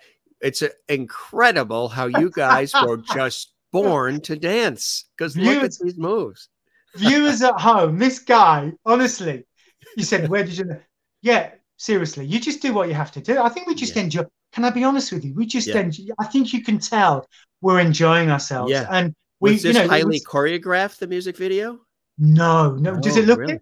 They're just our own moves. The backing dancers are choreographed, and Yeah. the guy the guy on the saxophone is called Venel. Venel worked with Kylie Minogue as Yeah. a choreographer and on lots of the dances, and he choreographed those dances, and he also played the sax in the video. Um, no, I mean we're not choreographed. You know, you could say you. Set, I think the, the phrase is "you set my hips on fire," but not really. So yeah, that was that was our first hit, and we went all over the world. what was went that feeling like for you? That had to be you- incredible, huh? You know what? The the biggest thrill for me, well, this one of the biggest thrills was to go back to Top of the Pops, the number one TV show for pop music in the country. This show, you know, you know, uh, in the states, you know, like American Idol. This Yeah. show was that big; it was enormous. And Yeah. I went back to that show as an artist. I'd been, I'd done the warm up, I'd been a cheerleader dancing around. Can you imagine the thrill for me to walk in as an artist on that show with all the, you know, Sinead O'Connor, they're all on there. Yeah. That to me was the bee, as we say in England, that was the bee's knees. Yeah. Yeah. Do you have that saying over there? No, we don't have the bee's knees. No. There you go. So you're learning something every day, the bee's knees. My American friends, I always say things like gobsmacked, and I say phrases and they go, gobsmacked? Gobsmacked? Godsmack. Yeah. We we sort of overuse the word awesome here a lot. Yes, yes. Yeah, strange enough though, strange enough, even though you Fantastic, overused- we say a lot. yeah, but strange enough, you didn't use you didn't use awesome about my dancing, which is strange. I think it's awesome. Well, see, I think it's brilliant. That's your word. No, no, no, super. Super. Excuse me, I'm having a slurp. So that's brought you pretty much up to date with Yell. So Yell, we had great success. It was the most amazing time in my life. I would not have missed it for the world. Unfortunately, it ended really badly for me. I woke up one morning. I had fans. I mean, bless my parents. You know, my parents, as I say, working class people from the Northeast, they used to come and visit me and they'd be fans sleeping and going through my bins. My mum and Yeah. dad were befuddled by befuddled. There's another word. My mum and dad were we do use that word here, befuddled. Well, my mum and dad were like, you know, because obviously I'm just their son. You know, the last time they saw me at home, they would tell me to make my bed. And now I've got people sleeping outside my my place. I've got newspapers going through my dustbins. You know, fame is a crazy, crazy thing. We flew all over the world. We were on 30 magazine covers for the first single. Amazing. But we were together, and after about four or five years, I woke up one morning and I opened, there were tabloid papers, and I opened them, and it said the band were finished. The Wow. band, the rug was pulled from under me. I did not even know. Now, for anybody it's passionate about a job, whether you're a carpenter, you're a footballer, you're a dentist, if you really like your job, if like me, you left home at 17, came to the big city on your own and, and grafted. I grafted. It's just in my nature. Yeah. Um, to lose it all over the overnight, and you know, I Did read they stories say about what happened? Why? no, what- they just they just stopped. They The- just is that the record company or management or no, the record company. It was just kaput. Genuinely. Now I read stories about artists who, when things happen to them like this, they say, God, I couldn't have got through this without the help of Elton John or whatever. And I'm like, I look back now and I think, I wish I'd known Elton John, you know, because he seems to have helped so many people through the trauma of a career upset, of losing something really badly. I mean, I didn't turn to drugs, I didn't turn to drink. I'm not, I don't have it. I think the only addiction I have is my career, you know, um, but it was the most traumatic thing. I was buying my parents a house, you know, Did like you my world. get an answer as to why they just because you had Simon Uh, Cowell rooting for you, right? Yeah. Everything just stopped. I think there were things going on in the record company that I didn't know about. There were politics going on. There's a producer that's written a book, a record producer that's written a book with some insights into what I didn't know. And he's told me, I haven't yet got the book, but there was a lot going on behind the scenes. Yeah. I, what am I doing with my hands? There was a lot going on behind the scenes. Magic. Juggling. Um, there was a lot going on behind the scenes that I didn't. You know, we were we were flying all over the world. You know, when you're in the bubble, Yes. when you're in the bubble, the politics you don't get to see what's going on in the offices. You don't Right. really get to tune into real life the in the business side of it. talent don't always see, you know you're the face of it. You're you're you know getting the ticket sales, record sales, all this other, but you don't know all this crazy because stuff that's usually, going on. You're usually in a studio till three in the morning, or you're Right. writing, or you're on a plane, or you're having photo sessions. And I know that sounds amazing and glamorous, and believe me, I wouldn't have missed that for the world. Sure. But you don't you're not in the office getting the phone calls seeing what's really going on you know so it ended very badly and i took it very badly and i had a nervous Mhm. breakdown i um i i i blamed myself i uh Sure. I fell apart. I, I just had a breakdown. And my mum and dad, very normal people, they didn't really know how to handle it. They had no experience of the music business. Who I couldn't go to my union. I couldn't go to my uh, HR in the music business. I couldn't go to Elton John. I didn't know him. You know, I felt very much alone. And I went into a state of shock and I lost everything. It was the most horrendous. And the worst thing I lost was my confidence. Um, Did that I happen to Paul as well? Did both of you sort of? Paul and I never spoke again. That was it. Yeah, that was it. I saw him after that at uh, in town, but we never spoke again. It it completely. He gave up. Before, I mean, he did some performing straight away, but since then he's more in the studio now. I think he's. I think he said that he just likes being behind the scenes. Whereas me, I want you know, I lost my confidence, and I I kind of blamed myself. And I know that might sound really irrational, but when you're exhausted um, sometimes you can't see the wood for the trees. And I went into myself and um, I didn't sing again. Um, I ended up, after about a year or two, going to New York. And nobody knew me in New York. We'd not released in the States. We'd recorded in LA with Michael J. We'd been to the Grammys. I love LA. It'd been fantastic. But we'd never, we'd not recorded and uh, we'd not released in the States as yet. So we were, I was safe. So I could walk around New York and I didn't have that crushing burden of the word failure on my shoulders because I felt I just felt it was all my fault. It, I was a failure, and I I kind of walked around New York and completely forgot, and it it was a relief to forget. I mean, I'd been on the road for four years. I was exhausted. You know, I didn't know whether I was coming or going, and I was incredibly hurt. And I um I just didn't believe in myself anymore as a singer and as an artist. So I was with friends in New York and I fell in love with New York. I absolutely, I walked, I, I walked Manhattan. It was like a therapy for me, genuinely. You know, you know, nobody in those days, nobody cycled around. I walked Manhattan. It was like I would just go out during the day. I wasn't working. I just walked. I saw friends, and I just slowly started to heal because I was in a totally different environment. One day, I was on 34th Street, and it was snowing and I bumped into this guy and I knocked. He had he had a box in his hand and I and I knocked it out of his hand. And uh, I said, "Oh, I'm so sorry." You know, typical Brit. So sorry, so sorry. And he stood up and he went, "It's okay." He said, "You're British." And I said, "Yeah." And he said, "What do you do?"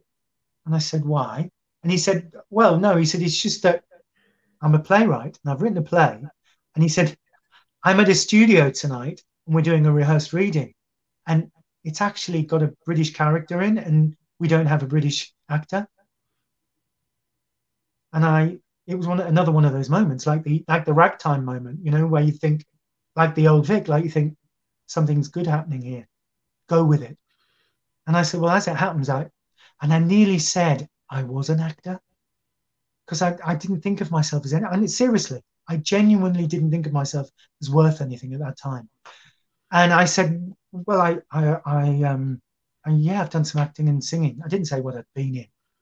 So I went to the studio, gave me this the script, and I read. I had a lovely time. As an evening, it was great. It was. I just had a lovely time. I read it. I thought I gave him my phone number. We had coffees and chats, and I disappeared. I was staying with my friend in Queens. Three days later, there was a message on the voicemail. Can you call me back? And I rang him back, and he said, "We'd love you to do this. We're doing a workshop production." It's three months over the summer. We're going to perform it off off Broadway. We'd love you to be in it. Wow, you could have knocked me down with a feather. It was like medicine. So not only am I in this amazing city, you know, the kid from England, Sky. I was like watching a TV set. You know, I know if you live in New York, it's like me. I live in London. People talk about Buckingham Palace. You go, yeah, Buckingham Palace. When you live somewhere, it's it doesn't feel special. But right. for me, you know, I was running away from the biggest nightmare of my life. I'd had a nervous breakdown. This was me- this was somebody giving me honey by the spoonful. I was getting Guinness from my Irish ancestors. Right. So I, I joined this, this troupe, these actors, these New York, wonderful New York actors who all had day jobs because you have to. Every night I'd walk. I then moved to Chelsea. No, I then moved to, it was not the posh bit of Chelsea. It was a bit over that side, you know, like 9th and 10th Avenue side. And um, I would walk every day at five o'clock all the way up Seventh Avenue, I think it was, or Eighth Avenue, to the rehearsal studios, which were quite a well known. They're up metal staircases, a walk up.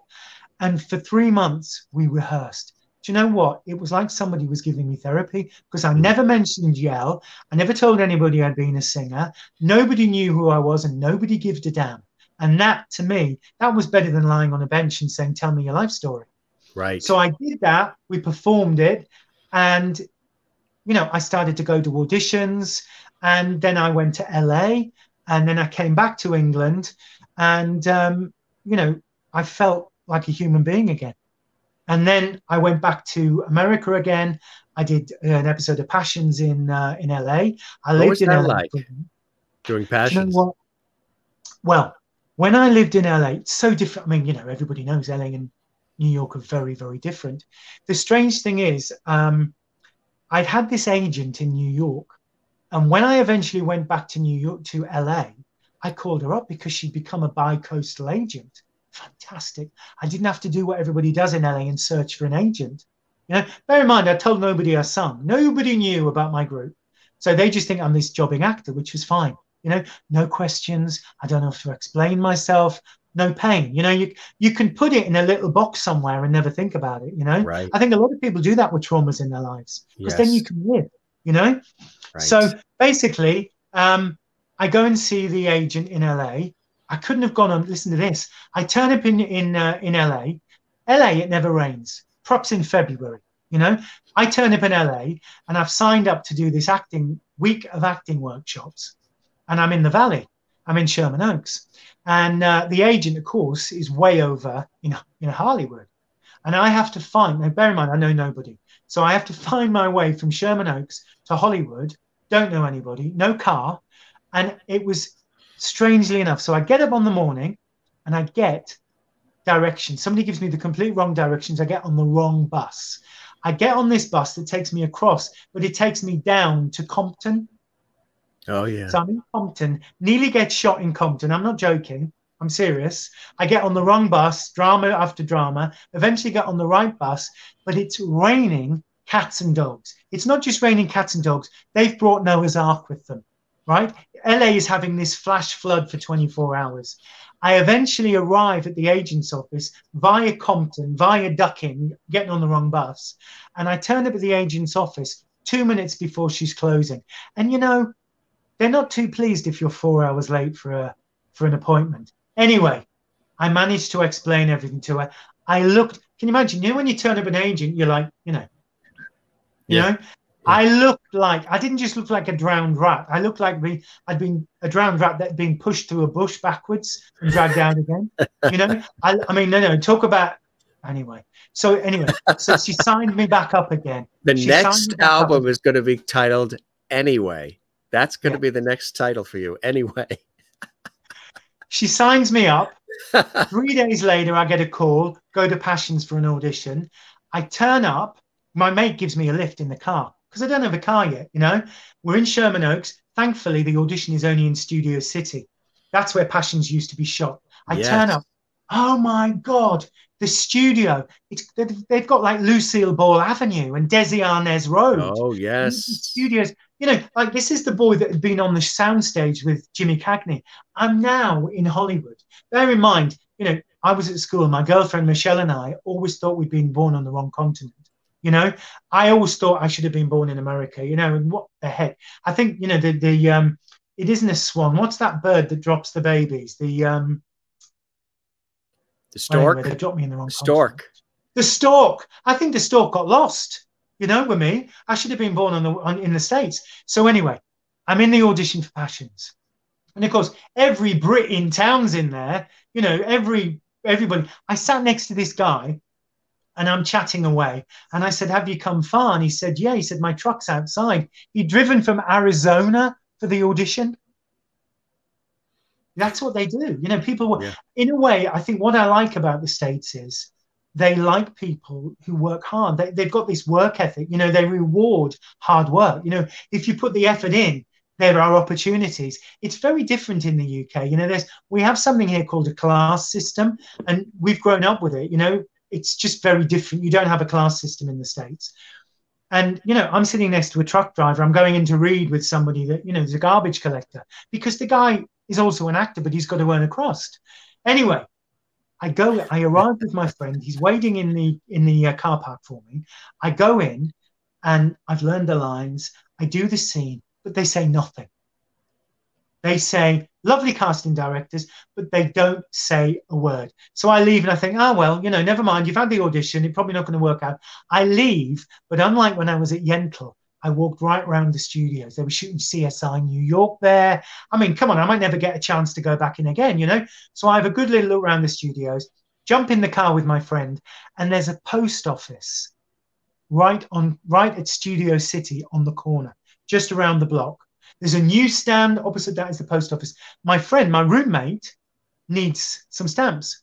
He goes in. Now, bear in mind, I've just left the TV studio in, in Studio City. I just left there four minutes ago. We pull around the corner. I'm still in that. How did I do? They didn't say anything. Do you think I got it? My phone rings. It's my agent. You booked the job. Can you imagine? I get out of the car. I go in. My mate's like in, in the line four up, and I'm I'm trying to mime to him. I've booked the job. He thinks I've lost the plot. You know, he thinks I'm trying to order Chinese food or something. You know. Right. So I get back in the car. I then phone my mother. Of course, I forget. It's three in the morning in England. I'm in LA. You know, it's like, you know, they're asleep. So I ring my mother, wake my mother up, and I went, I've booked the job. Well, you, what you've got to realize is this is the kid that lost everything, had a breakdown, and I'm in LA and I've booked a job on a show. Come on. Yeah. First booking, first job. You know, I should have just, you know, I should have been born in. I mean, I was meant to be over there, you know? So yeah. my love for the States, love New York, love LA, but I know there's a whole different country in the middle, upstate, all over the place. Love it. You know, I've traveled around a bit. I, you know, I'd be there tomorrow if I could, but of course we got lockdown. Lockdown. I came back to England. I was doing well in the States, but my mum was ill. My dad wasn't very well. And I know it might sound strange to people, but we were very close family. And I came back to England. That's beautiful. Never thinking never thinking that I would end up becoming my mum's carer. And my mum and dad were not very well. My dad went into a facility, and my mum was on her own. And I moved in with my mum. I moved to her town, her city, and I just took care of my mum. And um, I know it sounds strange, but I just I didn't miss the career. And and and you've just seen how passionate I am about my career. But that's my mum. I, I couldn't leave her. You know, especially right. after the after the way after the struggle she'd had when she had me. You know, uh, I couldn't. You know, I was. It's really strange. You know, I joked at the beginning of this when I said you said something. You know, are you the youngest, the oldest? And I said no, I was a mistake. That I really was unplanned. But I think maybe my mum's mum planned me because she knew someone was going to need to keep an eye on my mum. Take care of because, her her daughter, right? Yeah, yeah. yeah. Um, so because strangely enough, I, I believe in the afterlife. I believe in the other side. I once went to see a clairvoyant. Uh, I've been to see a few, and she told me I I was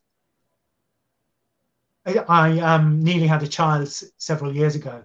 It didn't happen, and the clairvoyant said to me that your grandmother is holding your son in her arms. Mm. So, you know, I hope it's true because it, I did, you know, that that never happened that could have happened and it, I, you know, it was very emotional when she told me that because, you know, I wanted my son in my arms. You know, I'd love to have brought my son up. It's heartbreaking, you know, but to know that my my mum had me this is the strangest thing. And my grandmother died very shortly after I was born. And my grandmother was going to hold me at the font. So when the clairvoyant told me that my grandmother was holding my son that didn't you know happen in her arms, it kind of fell into place because she was going to hold me at the font. So I tended to believe what was told, you know. Yeah, sure. Anyway, yeah. you can see how passionate I am about my family. So I wasn't going to fly off. I couldn't, you know, I love the States and I loved my career. I got my, you know, I got a job in a TV show first, but first one out the bat. But I got my Screen Actors Guild, you know. Um, I couldn't leave my mum. I couldn't leave her on her own. So I basically moved in with my mum and looked after her. She progressively needed more and more help. So I moved her to my home in London and I moved her in with me. And um, I looked after her. She actually, my mum passed away on my sofa. Um, I looked after her for 10 years. And my mum would get angry with me when I looked. She didn't get angry with me because I was looking after her badly. She would get, sometimes I'd, um, she'd say, You never sing. And I say, No, because I, after Yell, I never sung. I just, I just never, I just, I just didn't believe in myself. Didn't believe in myself at all and I never sung. I, I don't know whether it was because I associated pain with it. And the X Factor came on, Britain's Got Talent came on, American Idol came on. Do you know I could watch those shows as a as a punter, as a member of the public. I yeah. never watched them. I never watched them as an artist. That's how much I put it in a box in my head. I yeah. totally disassociated myself. And my mum, it must have been so frustrating for her because she'd kind of occasionally see me in the in my apartment breaking into song and she'd get really angry. And she'd say, You should be there. You know, she still she still felt the passion that yeah. I had. I didn't feel it. And she used to get angry and say, You shouldn't be looking after me. You should be doing that. You should be in America. You should be you were there. You you've given it all up for me and you're wasting your life. And I said, No, no, no I'm here and I won't be going anywhere. And I loved it. You know, I, I wouldn't miss that for the world. But, you know, the day my mum passed away, uh, oh, never really talk about this, but um, she put her hand on mine at the side of the bed and she said, um, You're my best pal. And I said, Nah, don't be silly. I'm I'm your son. I mean, she was, you know, she was saying, she, you know, I said, no, I, am your son. And she put her hand on my phone. She went, no, you've been my best pal. Thank you for everything. And we got up, we and I, and I gave her a hug, and we had we had breakfast, and we got on with the rest of the day. And she was sitting on my sofa, and and she just had some scrambled eggs for lunch. It wasn't the scrambled eggs, and um, she just stopped breathing. She just took her last breath. I mean, people say if there's a way to go, you know, you're not hooked up to things in hospital, you know, you're not whatever. And she, she, I, I, we had the most amazing 10 years. My mum had had a tough life. And when I moved her in with me, I was determined that she'd just have a fabulous 10 years. I took, you know what? I took a couple of auditions. She'd get so angry with me. My agent would ring and I'd say, no, I'm not doing it. Do you know what? I took a couple of auditions to please my agent. Because if you leave your agent, getting an agent back, you know, it's like trying to get an audience with the Pope. Actually, talking to the Pope, when my mum was well, I took her to Rome. She was 82. I took her to Rome. We walked Rome. We, she, we had a ball. Anyway, getting back to the story, I took a, I, I just wanted to give her joy because she'd had such a tough life.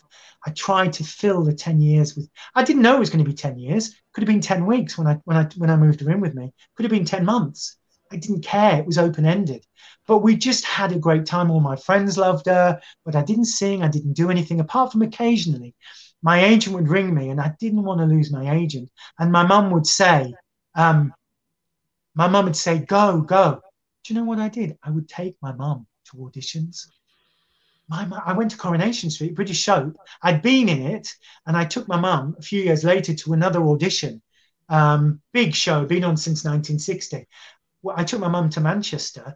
I went, and she was sitting in reception. I went up to do the audition. I came down. She's sit, only sitting on the sofa chatting with one of the major characters. I thought they were going to put her in the soap.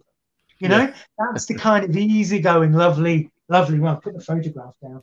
But that's the kind of easygoing, smashing woman she was. She was just a charmer, you know. Anyway, so I took her to a. Can you bring that closer to the uh, camera so we really see her? I'll email it to you. That's Winifred Catherine. She was a smasher. Anyway, she so got the guards to smile, which is rare. yeah, like the Queen, she had a lovely smile. It's funny looking at the Queen in her last years because you know you get old. Did you feel some sort of connection yeah, with your mother genuine. and with her? Yeah, I genuinely did, especially as we'd been to Buckingham Palace. It and reminded you of uh, yeah, yeah wonderful ladies. So I took my mum to a couple of auditions, but I I just filled her days with we, we would I would take her out. We would walk. I would, you know, in the in the last year, she ended up in a wheelchair because her, her, she broke her pelvis. Mm. I would mm. push her. We we get we'd go somewhere, like we go to Hampstead or we go to Pem, um, Primrose Hill, and then I'd walk her back. But we'd always go the interesting routes. So basically, and a friend of mine said, "You know what you're doing, don't you?" And I said, "No." And he and he said, "What you put in your career, you're putting into looking after your mum." And I thought nothing of it. Well, that's what you do. You know, you love someone, you care for them. So I had a great time. I mean, it's hard work, don't get me wrong, you know, but I wouldn't have missed it for the world. You know, to watch your mum get frailer and frailer is not easy. As no. Bette Davis used to say, getting older ain't for sissies, you know. And my mum didn't want to get older and frailer. It was frustrating for her. But, you know, my mum would, as I say, get angry and she'd say to me, it's uh, the day that she died, when she said, You're a pal, we were sitting and she said to me, it's, You know, it's not going to be easy when I've gone. And I said, I know. I said, I'm going to grieve. You know, it's going to be hard, you know. And she said, No, no, no. She says, I can see the future and it's going to be tough for you for a while. She said, You can't walk away from your career like you haven't expect to get it back. She says, You won't. It's going to be tough. And I, and I, I kind of laughed it off, you know, because I didn't, I didn't realize. So my mum mm. passes away on my sofa. I put her on the floor and I do the compressions and the kiss of life, and I managed to get her heart beating again because I didn't want her to die. Mm-mm. You know, I, it's kind of selfish, really. I think sometimes when you're a child, sometimes when your parents are very old and frail, it's hard for you to let them go. Absolutely. Really hard. So she'd stop. She just closed her eyes. I mean, what a peaceful way to go. But I did the thing and I got her heart beating again. And we got her to hospital. And then I got round to the hospital and they wouldn't let me on, they wouldn't let me in to see her. My God, it was so painful. I was pacing around the hospital. You know, they wouldn't let me in to see her. And eventually I was banging on the door and the doors were closed electronically. Anyway, they let me in the ward. And um, my mum was lying on the bed. And um, I just looked and I just thought, you know, this this isn't the way forward. And um, I leaned down. I mean, I was pleased to see her and I was relieved she was there. But I whispered in her ear and I just said, um, It's me. I love you, Mum. But your mum's waiting for you. And I said where they used to live as a child. And I said, She's at the door. She's got her arms open and she's waiting for you. Don't worry about me, you go. It's all right. I said, But I will be trying to get in touch with you when you've gone. I said, So keep your ears open for me because I'll be I'll be looking for you, you know? I said, but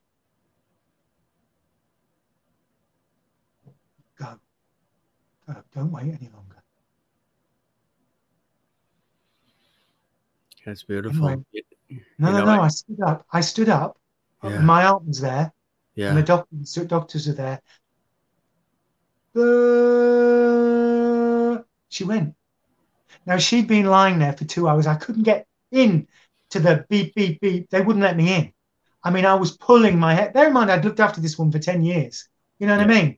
And I, know, I, couldn't, I hate that part, how they do mm-hmm. that. Yeah. Anyway, they let me in.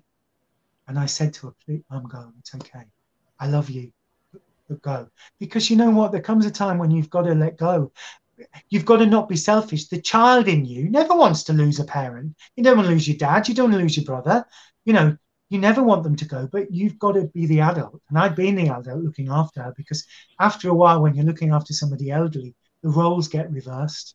Yeah, they really do. become the child not that, she, not that she was childlike but you when you take responsibility you make the decisions sometimes for them you know? Right. and they begin to rely on you to do that. So I kissed her. I mean, I'd whispered in her ear, you know. I mean, how close can you be? And of course, I didn't want her to go, but I and I kissed her, and I stood up, and without a word of a lie, it went beep, and she went. And I, she'd been waiting for me to get through that door. She just wanted to know that I was all right and that I'd be okay. I haven't told anybody this publicly before, so forgive me if this is hard for anyone to listen to. I'm so sorry. No, I didn't mean to expose so much of you to share. What I well, was, no, I, am a, little bit.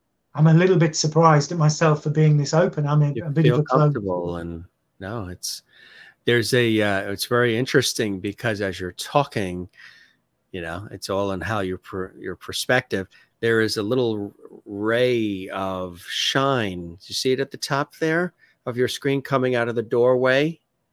Really? Like a little blue shine of light right on the top of the doorway to the right of you above. I, I, can't see it here, but maybe it's I'm not beautiful, almost like an angelic light that's coming in from the other room, uh, coming over, pointing yeah, towards you. I'm just going to take another angle and see if I can see it. Maybe if I close this. No, it's great. It's perfect because maybe maybe that was a sign from your mother. Well, just, you know, I don't want to give any way. I don't want to give any secrets away because everyone has their own way of dealing with things. It was beautiful.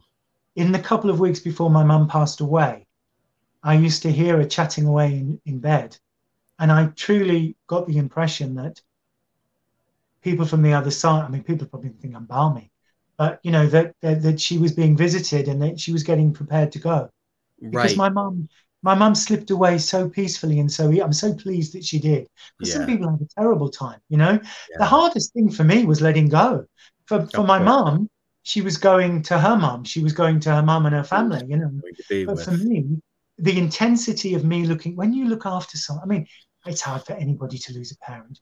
But when you look after somebody with the intensity that I did, because I looked after her 24 7, and I didn't realize when I did it how difficult it would be for me afterwards. Because boy, was my mother right. Of course, mothers are always right. I, I re- afterwards, I, I felt like I was being kicked by a horse every day. Of course, I'd lost yeah. my, I'd lost my identity. I didn't know who I was. Traumatic response, yeah. Who was I? Was I a carer? Where who was I caring for? Was I, I wasn't a singer anymore? Wasn't that? What, what was I? I totally lost myself. So yet again, like after Yell ended very abruptly, I was suddenly in this very strange place where I was in a blackness. And you know, people, the public, were probably wondering, "Where's Daniel James? Where?" Well, maybe some of them were thinking, "Thank God," you know, that whiny old goat. Um, the thing is, I it took a while, but I threw myself into um, pulling myself together. I, I, I, what I'd done is, although I'd moved my mum in with me, I actually then moved her back to where she lived. And before she died, I wanted her to be where she was born. You know, I talk about my granddad being a shipwright carpenter and, you know, the great family and kinship my mum had in Sunderland and I'm very proud of Hartlepool. And I'm very proud of the Northeast and Sunderland. And I wanted my mum to go back and be among her family. So I moved everything up there. And so when my mum passed away, I then stayed up there. And I, I was lost. And I used to walk. I used to go, there's a river there called the River Wear. It's a bit, it's a very dark, big river, like um, like in New York, you know? And um, I walked every night. I would go out for long walk. I'm a great, like, like I walk New York, you know, like I walked LA. I'm, that's how I, that's my therapy exercise and walking. And it's proved to be the best therapy for me because I, I, um, you know what I did when I was in the Northeast?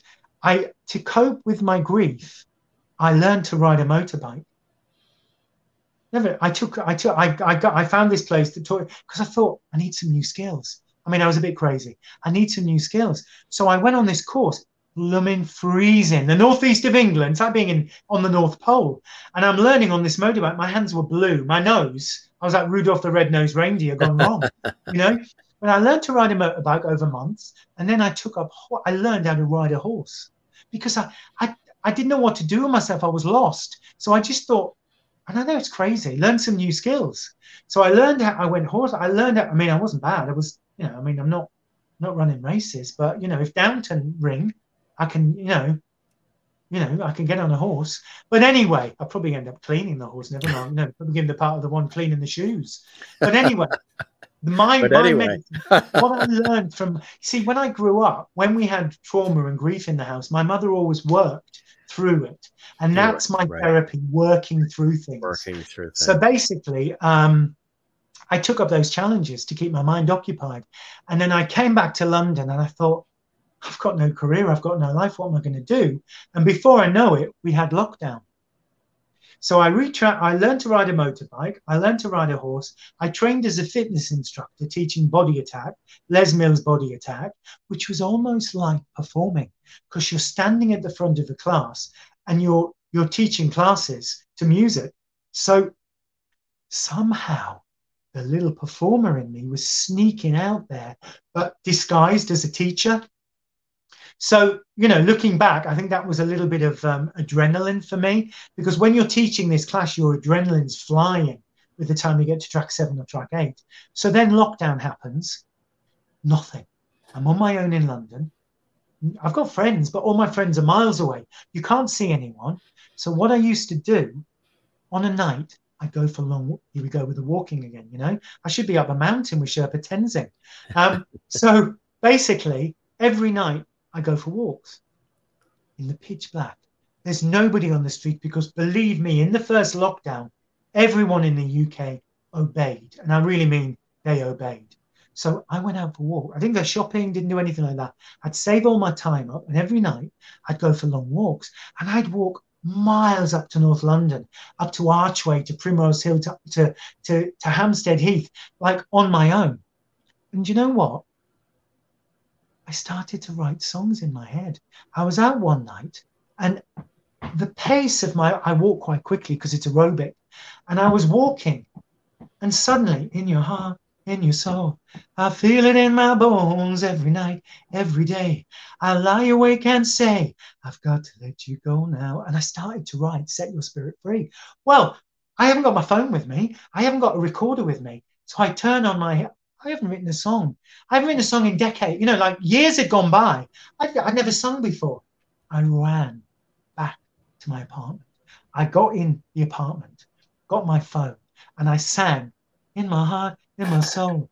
I feel it in my bones every night, every day. I lie awake and say, I've got to let you go now. And I wrote the chorus. The next, oh, or did I write the verse? I can't remember which way around it came. So I go to bed because if you, when you write a song, if you don't, if you go to bed, you'll wake up, you won't, you won't remember it. So I whacked the melody down on the phone. I went to bed. Got up the next day. I listened to it. The day went on. The night came. Out I go on the walk again. There's only me and a fox. Seriously. I saw one fox. I used to see this fox every night. He'd stand in the middle of the road and stare at me. It was almost like he was Clint Eastwood and I was the foe. He'd almost look at me and go, What are you doing on my street? Seriously. Confident little fox. Anyway, I'd walk. So the second night, I wrote the I wrote the verse on the first night, the chorus on the second night, and then got it recorded, got it in the house, and basically started to write songs again. This is the guy that never thought he'd sing again. I mean, I'm only singing them into my phone. There's no technology here. Anyway, lockdown goes on. By the end of lockdown, I've got half a dozen songs. We come out, we start to be able to do things again. I go in a studio. Can you imagine my fear? Can you imagine my nerves? You know, I you know, when Yell ended, I'm not going to go into the whys and wherefore, wherefores, but there was one sentence said to me that pushed me over the edge into a breakdown. Bear in mind when you're an exhausted man and somebody sits you into an office and says, You're old, you're ugly, and you're untalented, and you'll never work again, not even on the end of the pier. Now, when It's like somebody that rugby uh, guy again. yeah. Well, I was that was told to me in a very harsh way when I was at the lowest ebb in my life. And that pushed me into having a nervous breakdown. You can see why I never wanted to sing again. Oh, you know, maybe I should have reacted like I did to the, the, the rugby teacher and say, Well, I won't give you the finger, but you know what I mean? Yeah, but I didn't because I was worn down. You were I just already the world for four years. I, you know, my love of my life was my band, you know? So I wrote these songs and I booked a studio. Can you imagine when I put the cans on my head, the cans are your earphones? And that music started. I wasn't even sure I could knock a note out. I wasn't even sure I'd be any good. And I started to sing. I couldn't believe it. it I, I, I kicked myself. I got the first verse out and I got the chorus. I didn't, and the guy stopped because he said, "Oh, we're just we're just practicing, you know, just a little warm up." And I went, "No, don't stop. I might not be able to do it again." And I and he played. He said, "Don't be silly," you know. I mean, the guy didn't know my trauma, and he played it back to me, and I listened.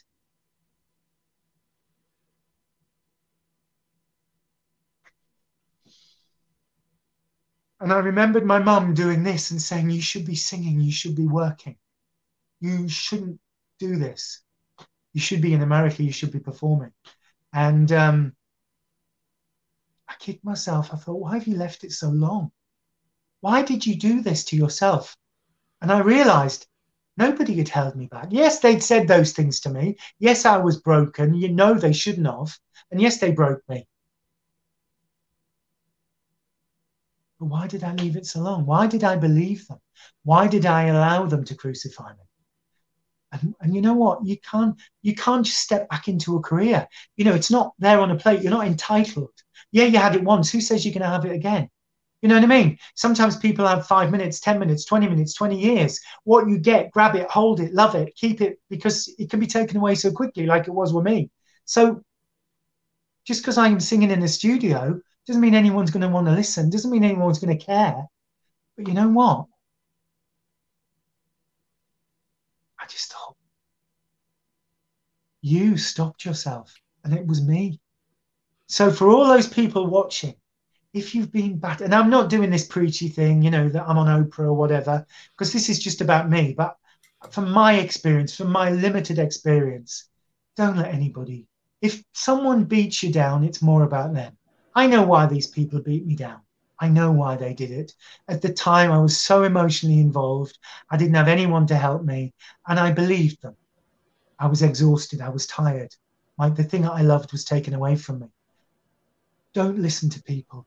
If they want to beat you down, don't listen because it's them. It's their problem, not yours. And I wish I'd had somebody to take me aside, to put their arms around me and say, No, you can sing. You are talented. I didn't. You know, I didn't go to my parents. I didn't want to worry them. I wish I'd had somebody to, to do this to me then.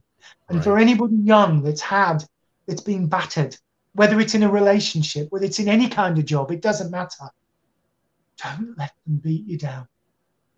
You you deserve better. And it's their problem, not yours. But I didn't know that at the time. I didn't know it. I was too tired. I was too vulnerable. So when I heard myself singing back, it was like, wow, why did I do this? Why did I leave it so long? Why did I leave it? You know, I've wasted all these years. of not believing in myself. And now I'm singing all the time. I mean, I'm, I'm not singing very well tonight because I'm emotional. But you know, so I wrote I wrote the songs about.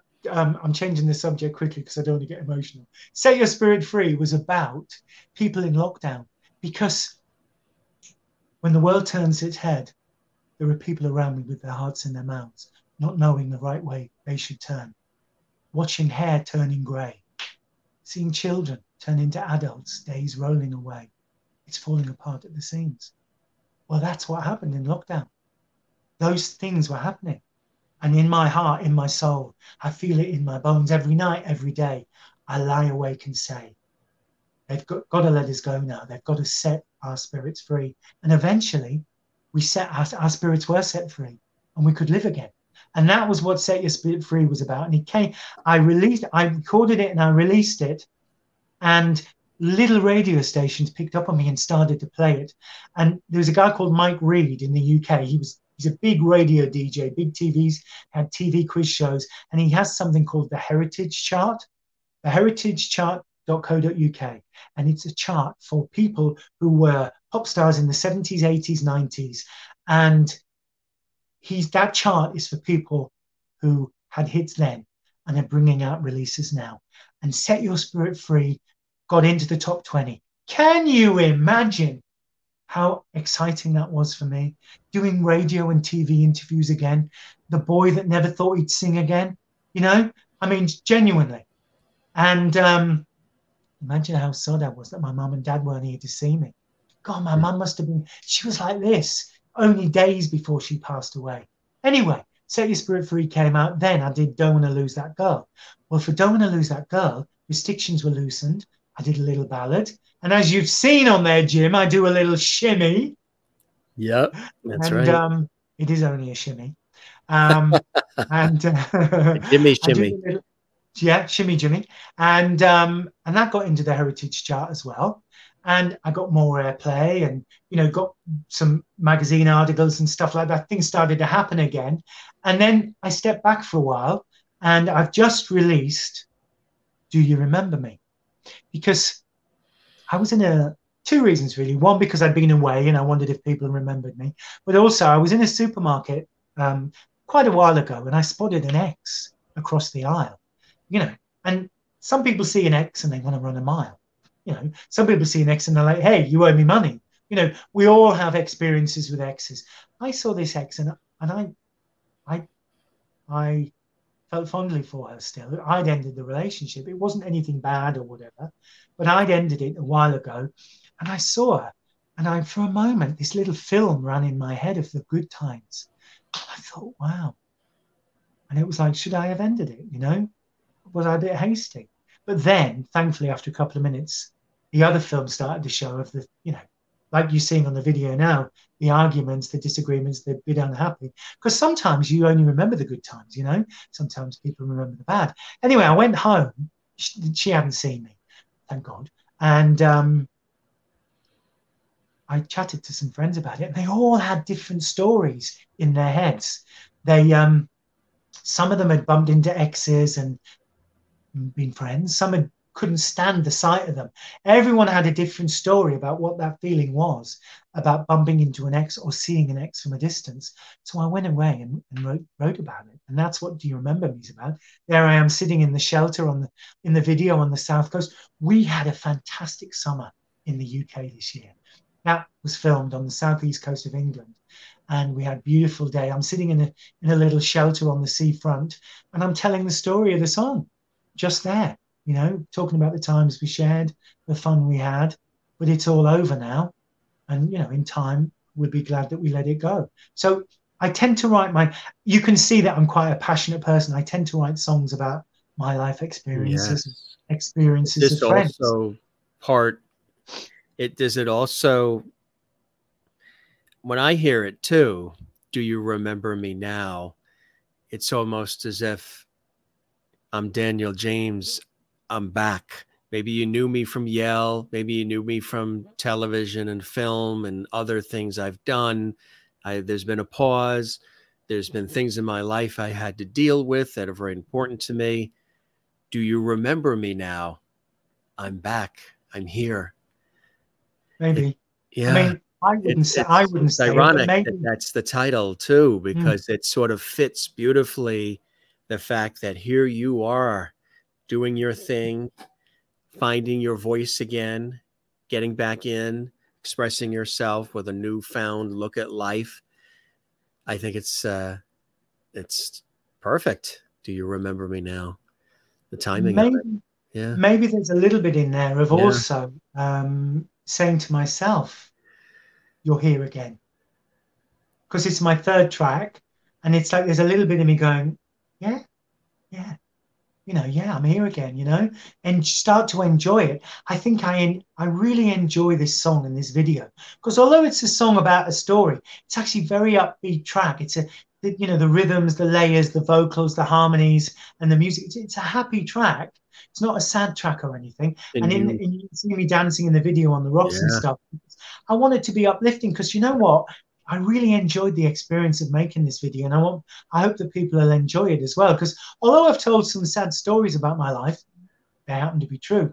I've also had some great times, and I'm I'm so grateful to have this second bite of the cherry. I mean, who knew? I certainly didn't know. You know, I would never have guessed this was going to happen in a million years. It's like winning the lottery, kind of. yes. Yes, absolutely. but yes. not quite the big prize yet. But uh, you know, certainly on the way. Taking a bite of the cherry. I'm going to write that one down. We don't use that one here. We say taking a bite out of the apple, but the cherry uh, sounds good too. Well, you know, cherries a little sweet. You know, cherries are sweeter and cherries softer. are sweeter, right? Yeah. yeah, take sec- a second bite of the cherry. I'm getting a second bite of the cherry because you know what? The first bite is beautiful, and to yeah. get a second bite, oof. So yeah, I'm very fortunate that, Are that you uh... old Yell fans, and I don't mean old in age. I mean no. Yell fans yeah. are still supporting me. Their kids yes. are coming along, and new fans so are coming along saying, "Who's this old geezer groaning on in this song? Who's oh. this old bugger?" Are you able to sing a little bit of it for us so they can hear the voice? Yeah. Don't stay the same, and now you're gone. I've got to move on. It feels strange inside. We shared so much. It plays on my mind. It's beautiful. Well, it's something. I mean, I'm a little bit husky because I've been emoting. I've been telling you my, I mean, you know, I'm telling you my life story, and I thought we're coming in for like a little chat, and I've poured my heart out. I'm a little bit, I'm a little bit drained, you know. As Bonnie, as um, as uh, what's her name would say, wrote Jolene. I'm a little bit yeah. country. I'm a little bit rock and roll. I'm a little bit, I'm a little bit husky now, you know. Do you remember me? Yeah, you know, it's um. Take a sip of the tea that you got there. That's now iced tea. Can I just say, it's my, you know, Americans would say, your tea looks cold, sir. well, it is, but because I'm Northern, I don't care. No tea, cold right. tea, what hot cold tea? tea that's give it. me tea. Just give you know? me tea. yeah. You know, as as he would say, you know, ice ice baby, tea, tea, baby. It's so do you see more music coming from Daniel James? Could we expect well, you know more? It's really st- I've got a couple of more tracks, but someone said to me, um, is it not time for like an upbeat happy song? um because i think i've tended to write about my recent experiences and stuff sure yeah so um yeah there's some more yes not yet yes there's some more music jim but i may not release what i thought i was going to release i'm going to try and knock out kind of up tempo song because i think it's time that daniel was a little bit in your face happy what do you think yeah. Absolutely. Now I don't know whether I'm going to pull. Hey, listen, Jim. I'm saying this. The next time we speak, maybe January, February, it might not have happened. So don't lash me if I bring out another ballad. You know, and you're snoring away. But in my mind, I'm thinking, you know, come on, because one of the fans said to me, you know, you know, Daniel, you know, you can be happy. You know, and I said, well, I am happy. And they said, yeah, but you haven't written the song about being happy. And I said, someone's already done that. You know. Um, but yeah, I Pharrell think Williams, right? Yeah, yeah Pharrell. And he, you know, yeah. Pharrell was number one in 27 countries with that song and sold over, so far, over 11 million copies. You can yes. tell I do the research. What's the name of my radio show? Bangers and Chat. And they're the kind of facts that come out in, you know, because I know all the facts about, I do the research. It's fascinating. You'd be yeah. surprised. You know, my lawyer years ago said to me, where there's a hit, there's a writ because you know you someone's usually so suing somebody. But you know what? Right. Where there's a hit, where there's a hit, there's usually a good story as well. And and also sometimes you know you see someone on TV and you think, wow, they've just arrived overnight. Nah. Mm. Quite mm-hmm. a lot of people, in fact, 90% of the people have been slogging away behind the scenes for ages beforehand, you know? Yeah. Right. So there exactly. you go. So your listeners are probably in a coma by now. I've I've talked. Not at so all. Long. They're probably in a trance. Are you kidding you me? No, they, we They're have very loyal listeners. You know what our listeners are called? I once said that the well, I said a couple of times. I said the show has a lot of light, love, and levity. And I said it too fast one episode, and I stumbled on lovity. And then the audience jumped on it and they said, Lovity, we love that word. You're now Mr. Lovity. This is Lovity Hall. We're your Lovity squad, and your guests are part of the Lovity family. So they have already designated you a Jim Masters show Lovity, L O V E I T Y, not grammatically correct. do you lovity me. Yes, you do. How we lovity together. Yes, we are, Jim. I tell well, you, it doesn't fit, but never mind. I no, tried. I think it's fantastic. Are you kidding me? yes, absolutely. Great word, lovely. What a fantastic word! You've I made just, your own word for the dictionary. I, I just stumbled on, and I kept, you know, Have you have you patented that? May- Maybe it's the British side of me that was very humble, and I kept saying sorry that I, uh, you know, made the mistake of not saying light, love, and levity, and i said levity, and the audience was like, "Will you stop saying that? It was meant to be. You were supposed to stumble on that." And then I said, "Well, how do you want to spell it?" And uh, You you ask know, too many questions. Just roll with it, baby. they said, well, we're in a pandemic at that time. Well, we still are, but in that time it was thick and, you know, real thick. And they said, don't lose the E in love. Whatever you do, do not drop the E. We want the word love to stay intact. I said, okay, grammatically, this won't be correct. So don't tell your seventh grade grammar teacher, but L O V E I T Y. And they said, yes. All right. So that's, and Listen. you're at Levity on our show. How cool is that? One of my songs. Don't wanna lose that E from levity. I'm getting corny now. Don't want to lose that E. talking, you, know? You got Set it. my I- levity free. Set my levity free. You've got it all. I mean, you know, you could do a cover of No Diggity, No Levity. No, Dickie writes. It's where you hang it, no liberty, no. It. They're going to take me away in a minute. Seriously, there's a No. there's a jacket there for me. Is it- yeah, the cats are they? The cats still outside the door, being Listen, they've calm, stopped cool, and cool. mating their- They've stopped mating their howling now. You know. They haven't eaten in a while. No, no, they're probably going to be chewing me carpet soon. Oh, those cats are going to be uh, leopards and tigers and cougars. They're like this at the door. Ah. They're not stray cats, baby. They're not doing the stray cat strut. I'll tell you. do you see yourself touring? Hopefully, Um, well, I might be doing a gig. It's nobody in the states can see me, but maybe I think I'm going to. I've been offered a support gig in December, uh, the third of December in uh, in the north of England. It- It's a, quite an artist, a big artist actually. Um, you know, I'm just this little at the moment. Hopefully, getting a little this big, but they've offered me a support gig, so I may well be performing in the first week of December. Hey, come on! Who would have thought? that's cool, right? Oh, I got to Yeah, ask it you, what was it like to uh, be in EastEnders, to have an opportunity to be in that? Well, there's another story. Listen, I turn up on the lot. It's December. It's snowing. Now, come on, you know England. When it snows, it snows. Yeah, It's it's it's not just coming down cats and dogs. Like I say, Noah's got a second arc, you know. yeah. So I I walk on the lot. Now, bear in mind, this show has been going for like 30 years. Oh, legendary. you know, yeah. Legendary TV show. Made some big stars of people in this country, you know. Um, Mhm. Brian May married to Anita Dobson, who was a huge, huge star in that, you know. And um, so I walk on the set, and there's a on the lot, there's a second-hand car dealership, and I've got a knock on the door, and um, it's snowing, it's cold. I knocked on the door. We had to do that many rehearsals because they couldn't get the camera angle right. And I'm one of those people. I don't want to fake it. It's got to be real, you know. And it's got to be small, you know. On the camera, you don't. It's not big. You've got to make it real. But you're knocking on the door, and I'm playing this really edgy character. So I'm hammering on the door, and we do that many takes. By the end of the scene, my knuckle is black and blue.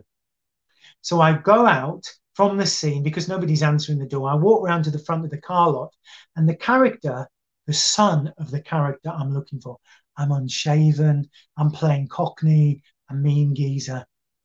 I'm looking for Phil Mitchell. All right, mate, I'll sort you out. Phil sold me a dodgy motor, and I'm looking for him. So I'm shouting across the lot, and his son Ben comes over. Ben is deaf. I don't know that Ben is deaf. So Ben's coming towards me. I'm walking around the car lot. Where's this geezer? I'm going to sort him out. I'm looking everywhere. And of course, Ben's talking to me. I'm talking to Ben. He can't see my mouth moving. That week, for those episodes, in fact, for about a month, the BBC wanted people to understand what it was like for a deaf person if you don't look at them. Um, and so the whole point of my character was for people to understand. So when I was ranting to Ben, sometimes they cut my dialogue out, and you would just see me going,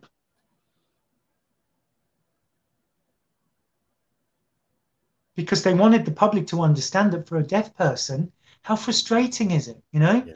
So I'm circling around Ben and I'm giving him quite a tough time. And he's exasperated with me and he won't tell me where his father is. He won't replace the car. So I storm off threatening and I walk across Albert Square, which is the famous square.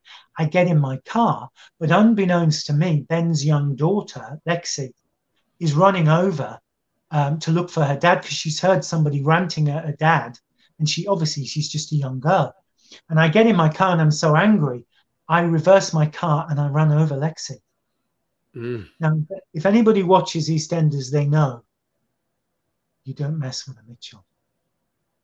You don't mess with a Mitchell. No. And I get out the car and I see what I've done and I'm off. And the episode ends with Lexi lying there. Have I killed Lexi? Well, everybody's wondering what's going to happen. Of course, lockdown happens.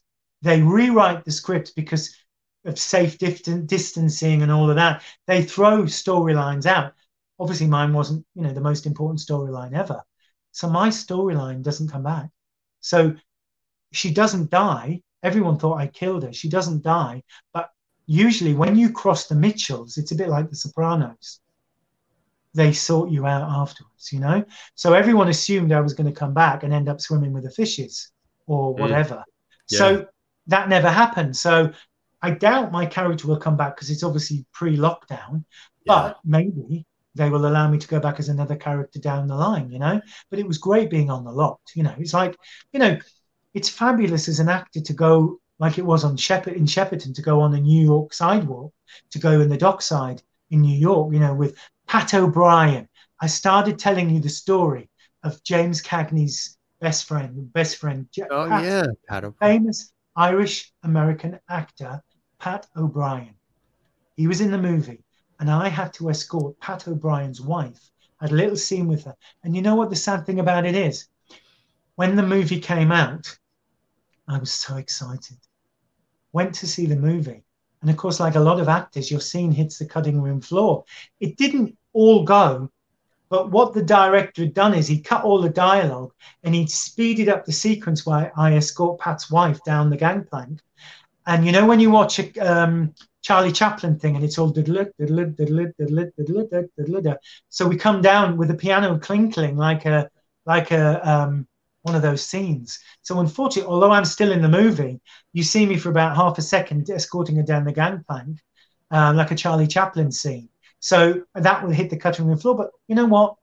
That's the business. Like my first three records didn't get anywhere. You learn that it's not a sprint; it's a marathon. And now I'm I'm on the 25th, well, maybe not the 25th mile of the marathon. Maybe I've got a few more miles to go. But you know, you turn upon you t- the thing is, for an artist who turns up on a long-running drama, you're there to bring energy as a new character because they're in there week in week out, and you have to go in and bring something new. And and that quite often actors in long-running shows love the artists that come in for a couple of episodes because you bring in energy and you lift their performances because they're they're used to acting with the same faces every week and they get to act with new faces and it gives them another edge and it gives them a boost so yes. it's great going in because they love you going in and you're going in with your excitement and everyone gets a lift from it and you just hope that maybe you get invited back sometime that's it right who knows who knows after seeing this they'll probably you know I'll probably be locked away somewhere in the tower. Are you kidding me? You're going to have everybody calling you after this. well, the only thing they're going to say is, Daniel, stop waving your arms around. I think I need one of those jobs, you know, the airport where they wave the planes in. That's it. You know? I've had a couple of 747s trying to land tonight. Not the cats, it's the 747s. That's, That's it. no thought of going being a comedian at all, huh? At all. Comedian? I make people cry. I don't know, I never thought of it. No, come on. I'm an actor, I'm a singer. You know, maybe in between my songs, I'll knock out. I, I, I can't tell a joke for the life of me. what What has the last two and a half hours been? Hard work for your listeners, for your, for your viewers. Viewers, the lovities. I'm so sorry, everybody listening. I'm seriously. Are you kidding? They love be a little chat. I, I'll probably wake up tomorrow and go, you know, when you wake up and you think, He's still a humble Brit. He's still a humble Brit. no, but you know, I've I've said things that well, I haven't told anybody. You know, I'm gonna have to send the boys over to steal this tape. the boys, the uh, the choir boys, boys the, the ones we coming over, man. Ones we saw singing at uh, Westminster uh, Abbey. oh, bless them. Did you yeah. see? I mean, the, the service. Whole ceremony the, was beautiful. The choir boys in their surplices, you know. Yes. Great voices. Great voices. Thing. Well, somebody that's here that usually pops in towards the latter part that wanted to say uh, hello and talk about stamina and longevity in these crazy industries. Mr. George Burns, the comedian, is here.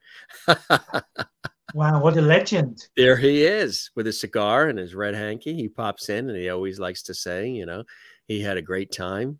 He learned a lot. You knocked it out of the park. He can't wait George, to listen to the music. And he oh, said, George, "You remember him?" to meet you, George. Well, I just wonder where Gracie is. Yeah, she's uh, she's on assignment right now. you know which where Gracie is? She's sitting at home with her feet up, listening to my music. Come on, she's listening to your music. And do you think if you were to call Simon Cowell's, uh, and so George sends his love, sends his best. My aunt collected dolls, uh, famous dolls. Hi, George. It's got, fabulous. Uh, Have you got any more? Is that your only one? Well, there are others, but we do have Gilligan from the TV series Gilligan's Island also. wow, fantastic. Sent by uh, the actor Bob Denver, who played him, his wife, who was a guest on our show, Dreama Denver. She sent fantastic. this along. It's great, stuff, really huh? good. I wish you had a Larry Hagman. My favorite ah. TV series was Dallas, you know? You didn't get a bobblehead doll when you guys were in Yell? Unfortunately, not. I mean, I was when Larry Hagman came over and sang for the Queen Mother at the Royal Variety performance. That famous thing where, yes. bless him, he forgot, he forgot the words to the song. You know, but he's such a charmer, and he tipped his hat, and the dollars fell out.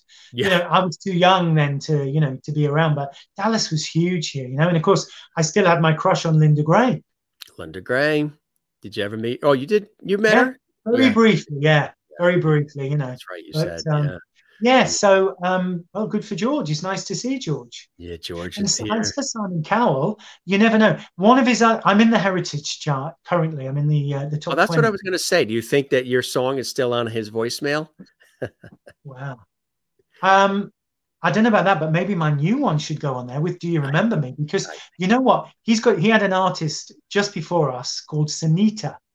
Uh, and Sinitta had been a girlfriend of his. And when you see Simon going for his Christmas holidays to Barbados and stuff. Some of his exes go with him. They're all still friends. And Sinitta's one of the ones that go. And as it happens, she's got a record in the um, heritage chart at the moment. And I've just leapfrogged her record. So I'm kind of thinking, oh, Simon, have you noticed I've leapfrogged your friend's record? I like that. Do you remember me? That's a new expression too for us here. I leapfrogged her. Wow. You know what? I'm going to have to come back at some point That's and give you guys yeah. some, we, some, we got to freshen up stuff. Awesome. We're overusing awesome. yeah, we, we need to. I need to give you some new words in the grammar and the explanation because I want all of your your viewers to go to the supermarket tomorrow and use some of these words. You know, they need to go to the fruit stall and say, "Hey, what's the fruit like? I might want a second bite of that cherry." You know, yeah, this line is too long and I have a doctor's appointment. Can I leapfrog the line? yeah, exactly. Without getting arrested. You Without know? getting arrested. Exactly. that is cool.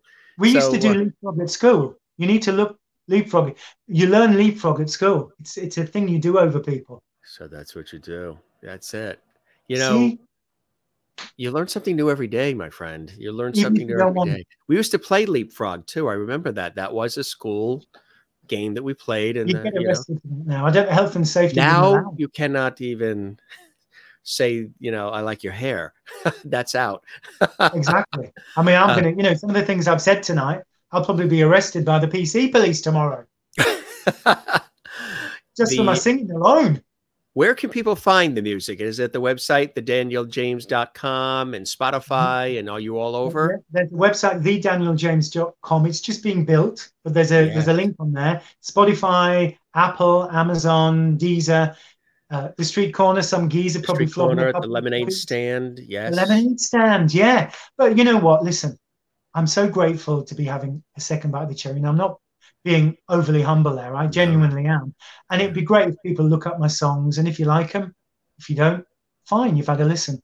But thank you. You know, thank you for the interview and the chat. Oh, and uh, pleasure, as I say, friend. I'll probably be in touch in the morning saying, "Oh my God, what did I say on that?" Because I've spilled a lot of beans tonight. I'm like Jack and the Beanstalk. Do you know that one? Yes, absolutely. Yes. Well, I spilled you, those beans tonight, you know, without. You, you, were real, you were authentic, you were inspiring. You make me feel like a levity. yeah, levity. You've got to patent that word, I'm telling you. Patent it? I'm going to patent it. yeah, you've got to do it because you know what? Now you've spilled the beans, somebody's going to take that from you. Everybody's you, been spilling the beans tonight. anyway. You're the best, truly. Uh, I am honored that you joined us, Daniel James. Uh, you have been open, you've been real, you've taken us full circle, you've opened up about your life, your music, the things that you're passionate about, the ups and downs. And I think whether people are in the industry or not, it's extreme. Your story is extremely inspiring. Your music has always been terrific. You've got a fantastic voice. You're very humble about it all. You're very super talented. And it's so nice to see that you believe in yourself enough that's coming back that you want to share with us more music, more entertainment, and more of yourself through the music. So we wish you nothing but continued joy and blessing in your life. And I hope the show met whatever expectations you had and you enjoyed the time with me as much as mm-hmm. I absolutely have with you. Jim, thank you for having me. I genuinely, I knew your name. You're a great guy. You've got a great show. I'm going to Google it and watch some of your old shows. I had no idea. Fantastic. I, I wish you much success. Lots of love to your listeners. Do you know what? I am as dry as a monk's sandal. Oh, really? I can I can put you put close. I'll pour some in. I have a lot left. oh my! See, I've done all the talking, but I've done all the drinking. Is yours cold now? It must be freezing. It's cold. Yeah, yeah it's yeah, cold. Yeah, but I'm in the Northeast too, so it's fine. kind, to, generous, supportive you, Daniel to, James. As they say in my home accent, two Northeast lads. I like that. Sláinte. Thank you, everybody. Lovely to meet you, Jim. And, uh, you know, thank you very much for having me spread the word about our show, my friend. If you know other folks you think would like to pop I'll be all on. Over socials. I'll be all over. I genuinely, you know, I've just learned to do all the big social stuff. It's like yes, a big you can share the episode on your social media. Tell people to tune in. I'll in. Have to put like a health warning on there. Could bring on a coma. put on a pot of coffee or tea. put eat, a, put eat dinner first. Eat dinner first. don't yeah. Don't plan to go to the movies. Eat dinner first no, we're going to submit this for an Emmy or an Oscar. Are you kidding me? No, you you you haven't been you have not been topped because no, actually there is somebody that has topped you, and that is the actor Scott Schwartz. He still oh. holds the record. Scott Schwartz was the actor in the movie A Christmas Story and uh, he was the kid that was that got his tongue stuck on the pole, the bratty kid in the Christmas story. He also was in uh, the toy with Richard Pryor and Jackie Gleason. Wow. He was he this was during the beginning of the pandemic. He came on as a guest from Los Angeles, from his backyard. He was outdoors, backyard. Everything had shut he would go to a lot of those Comic Con shows and shows where they sign autographs for child stars, and all that stopped. And he opened up about his life too, and all the struggles and things that were happening since that. He was on for six hours. What? not, not, not the British. I love the sound of it. It wasn't what? It was what? It's called what? it's called diction. We There's get even some air before the W. See, they do the air before the W. What? What? Exactly. you know, if if I couldn't be in the Jersey Boys, because when they go, "Oh, what a night," I'd have to go, "Oh, oh what a night!" if anybody's wearing a toupee, it blows off. Back in '63. do you know what I mean? Yes. It's, it's called diction. But listen, did you did the show go out for six hours or did you edit it down? Six hours live. Wow. That one, that one was live and it was six hours. Wow. And was, wow, did and I was sitting in the chair the whole time. There were no breaks or anything. There's no like commercials. Did your bum ache in the chair? it must have been going like, wow, wow. You know, did you go? How much coffee did you go through? Wow, I'm amazed. I, I think I, I, I think they had to lift me out of the chair because I was stuck like up. this. I was stuck in that chair position. you know what I've realized, Jim? You're not. You're a fabulous interviewer and a fabulous host. but I actually think people are using you. You need to redefine. People are using you as their therapist. That's what this is. That You've has happened. since lockdown, you are now entertainers, therapists. You should and be I, charging. and I don't I don't charge a copay either. You should be should. I charging. should. Seriously. right? Yeah. I'm I just trying to should. think what, what you've got. I could pay you with. You know, um, couple of pounds, man. Hey, when you're back over mate. here, ring me up. If, of pounds, if I'm over there, ring me up and we'll break bread, you know, and we'll toast. We will definitely break- stay in I touch. broken the internet tonight. Have you had, when this goes out, people have become close to the bottom going, I've gone through my second razor blade. I've had two shaves since this guy's been on. Two shaves. Two shaves. yeah, I've had two shaves. and not just my legs. and he says he's not a comedian. I tell you Right. guys, You better go seriously. You've probably got another guest queue and they're banging on the door. they're on in about an hour. Yeah, yeah.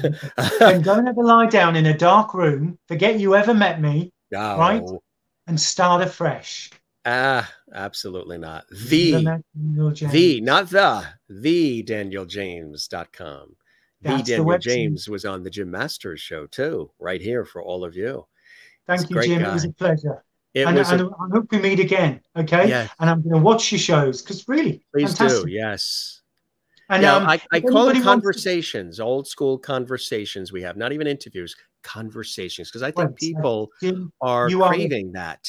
You are a born therapist. Um, Daniel James, 1925 on Twitter. If anybody wants to get in touch, I'd love you to follow me. I'll follow you back. That would be an honor. Thank you so much. And Follow you, follow me. Yeah. me. This was awesome, my friend. You be well and you take care. And I really hope you enjoyed yourself on the show. It's been different. I'm teasing. It's been wonderful. Thank you so much. Good night, everyone. Good night, good morning, good day, Good night, wherever good morning, good day. world. Could be anywhere around the world. Exactly. Yes. Yes. Yes. Somebody could be watch, watching. That person in the in the igloo that you mentioned earlier could be Yeah. watching. You know, their little rod waiting for the whale. Come up. By, they could by be now, the igloo has melted, and it's a flood. like. Do you know what? That sounds like a code word. When, unfortunately, poor Queen Elizabeth passed away, it was London Bridge has fallen. Yes. That was the code word for the government and for radio stations. We all got an email saying London Bridge has fallen. We had to stop playing certain records. Well, the igloo was melted. You don't know what you've set off by saying that. That could Oh have set no. a chain of events. Uh oh. You know, We'll have they to. could be in the dark in Reykjavik as we speak. Right, we better go. Seriously, this is go. fantastic. It's uh, Good uh, parting is such sweet sorrow. Neither one of us are goodbye people, obviously. but you be well. We'll keep the porch light on for you too. You're welcome back anytime, my friend. Let's just, stay in just touch. quickly, another saying. You and I could talk the hind legs off a donkey. Write that down. I want to use that. There you go. Good night. Goodbye. Thank you, everyone. Thank you, Jim. It's been great. Oh, it's been a pleasure, my friend. You be well. You take care. Keep believing in yourself and keep entertaining us with your great music. We really appreciate all the time, Daniel James. You're the best. Okay. Thank Let's stay in touch. Bye bye Cheers. now. Thank you, everyone. Bye bye. Cheers. Daniel James on the Jim Masters Show. If you do want to connect with him, the danieljames.com, that is the website. And as he mentioned, Spotify and iTunes and all over, you can find the music. And we were talking about uh, the newest song, Do You Remember Me Now, which is really fantastic. Isn't he a great guy? True. He's humble. He is funny. He doesn't think he's funny. He's very funny. And he was so open and so real and so conversational he shared a lot. And, you know, a lot of our guests do. They come on the show and, you know, they think maybe we're going to just talk about the new CD or the book or the movie or whatever. And we end up having fantastic, uh, legendary conversations. Great guy. Uh, he's really come full circle in his life. And again, you probably have seen him on things like Passions and EastEnders.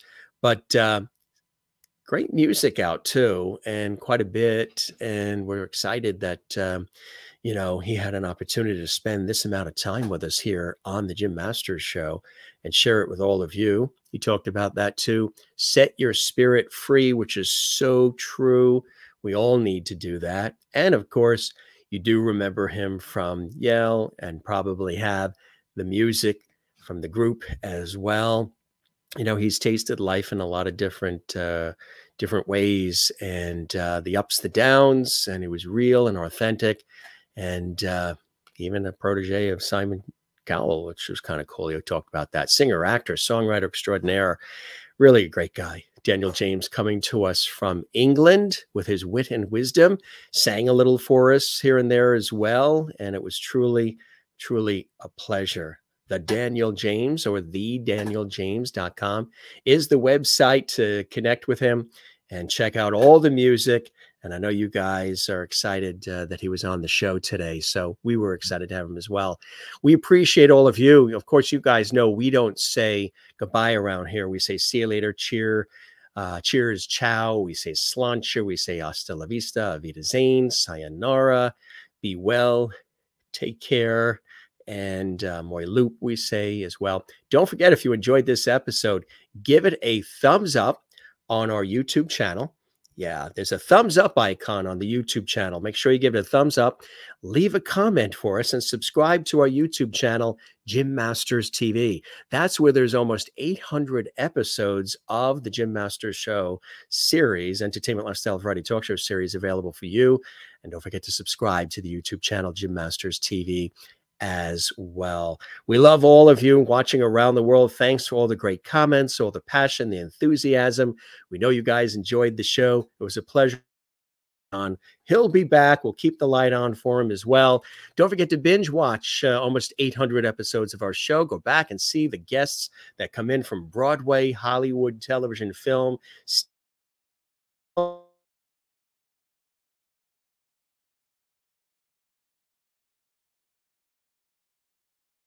Thanks for being with us. We'll see you again soon. We love having you with us on the Jim Master Show. Cheers.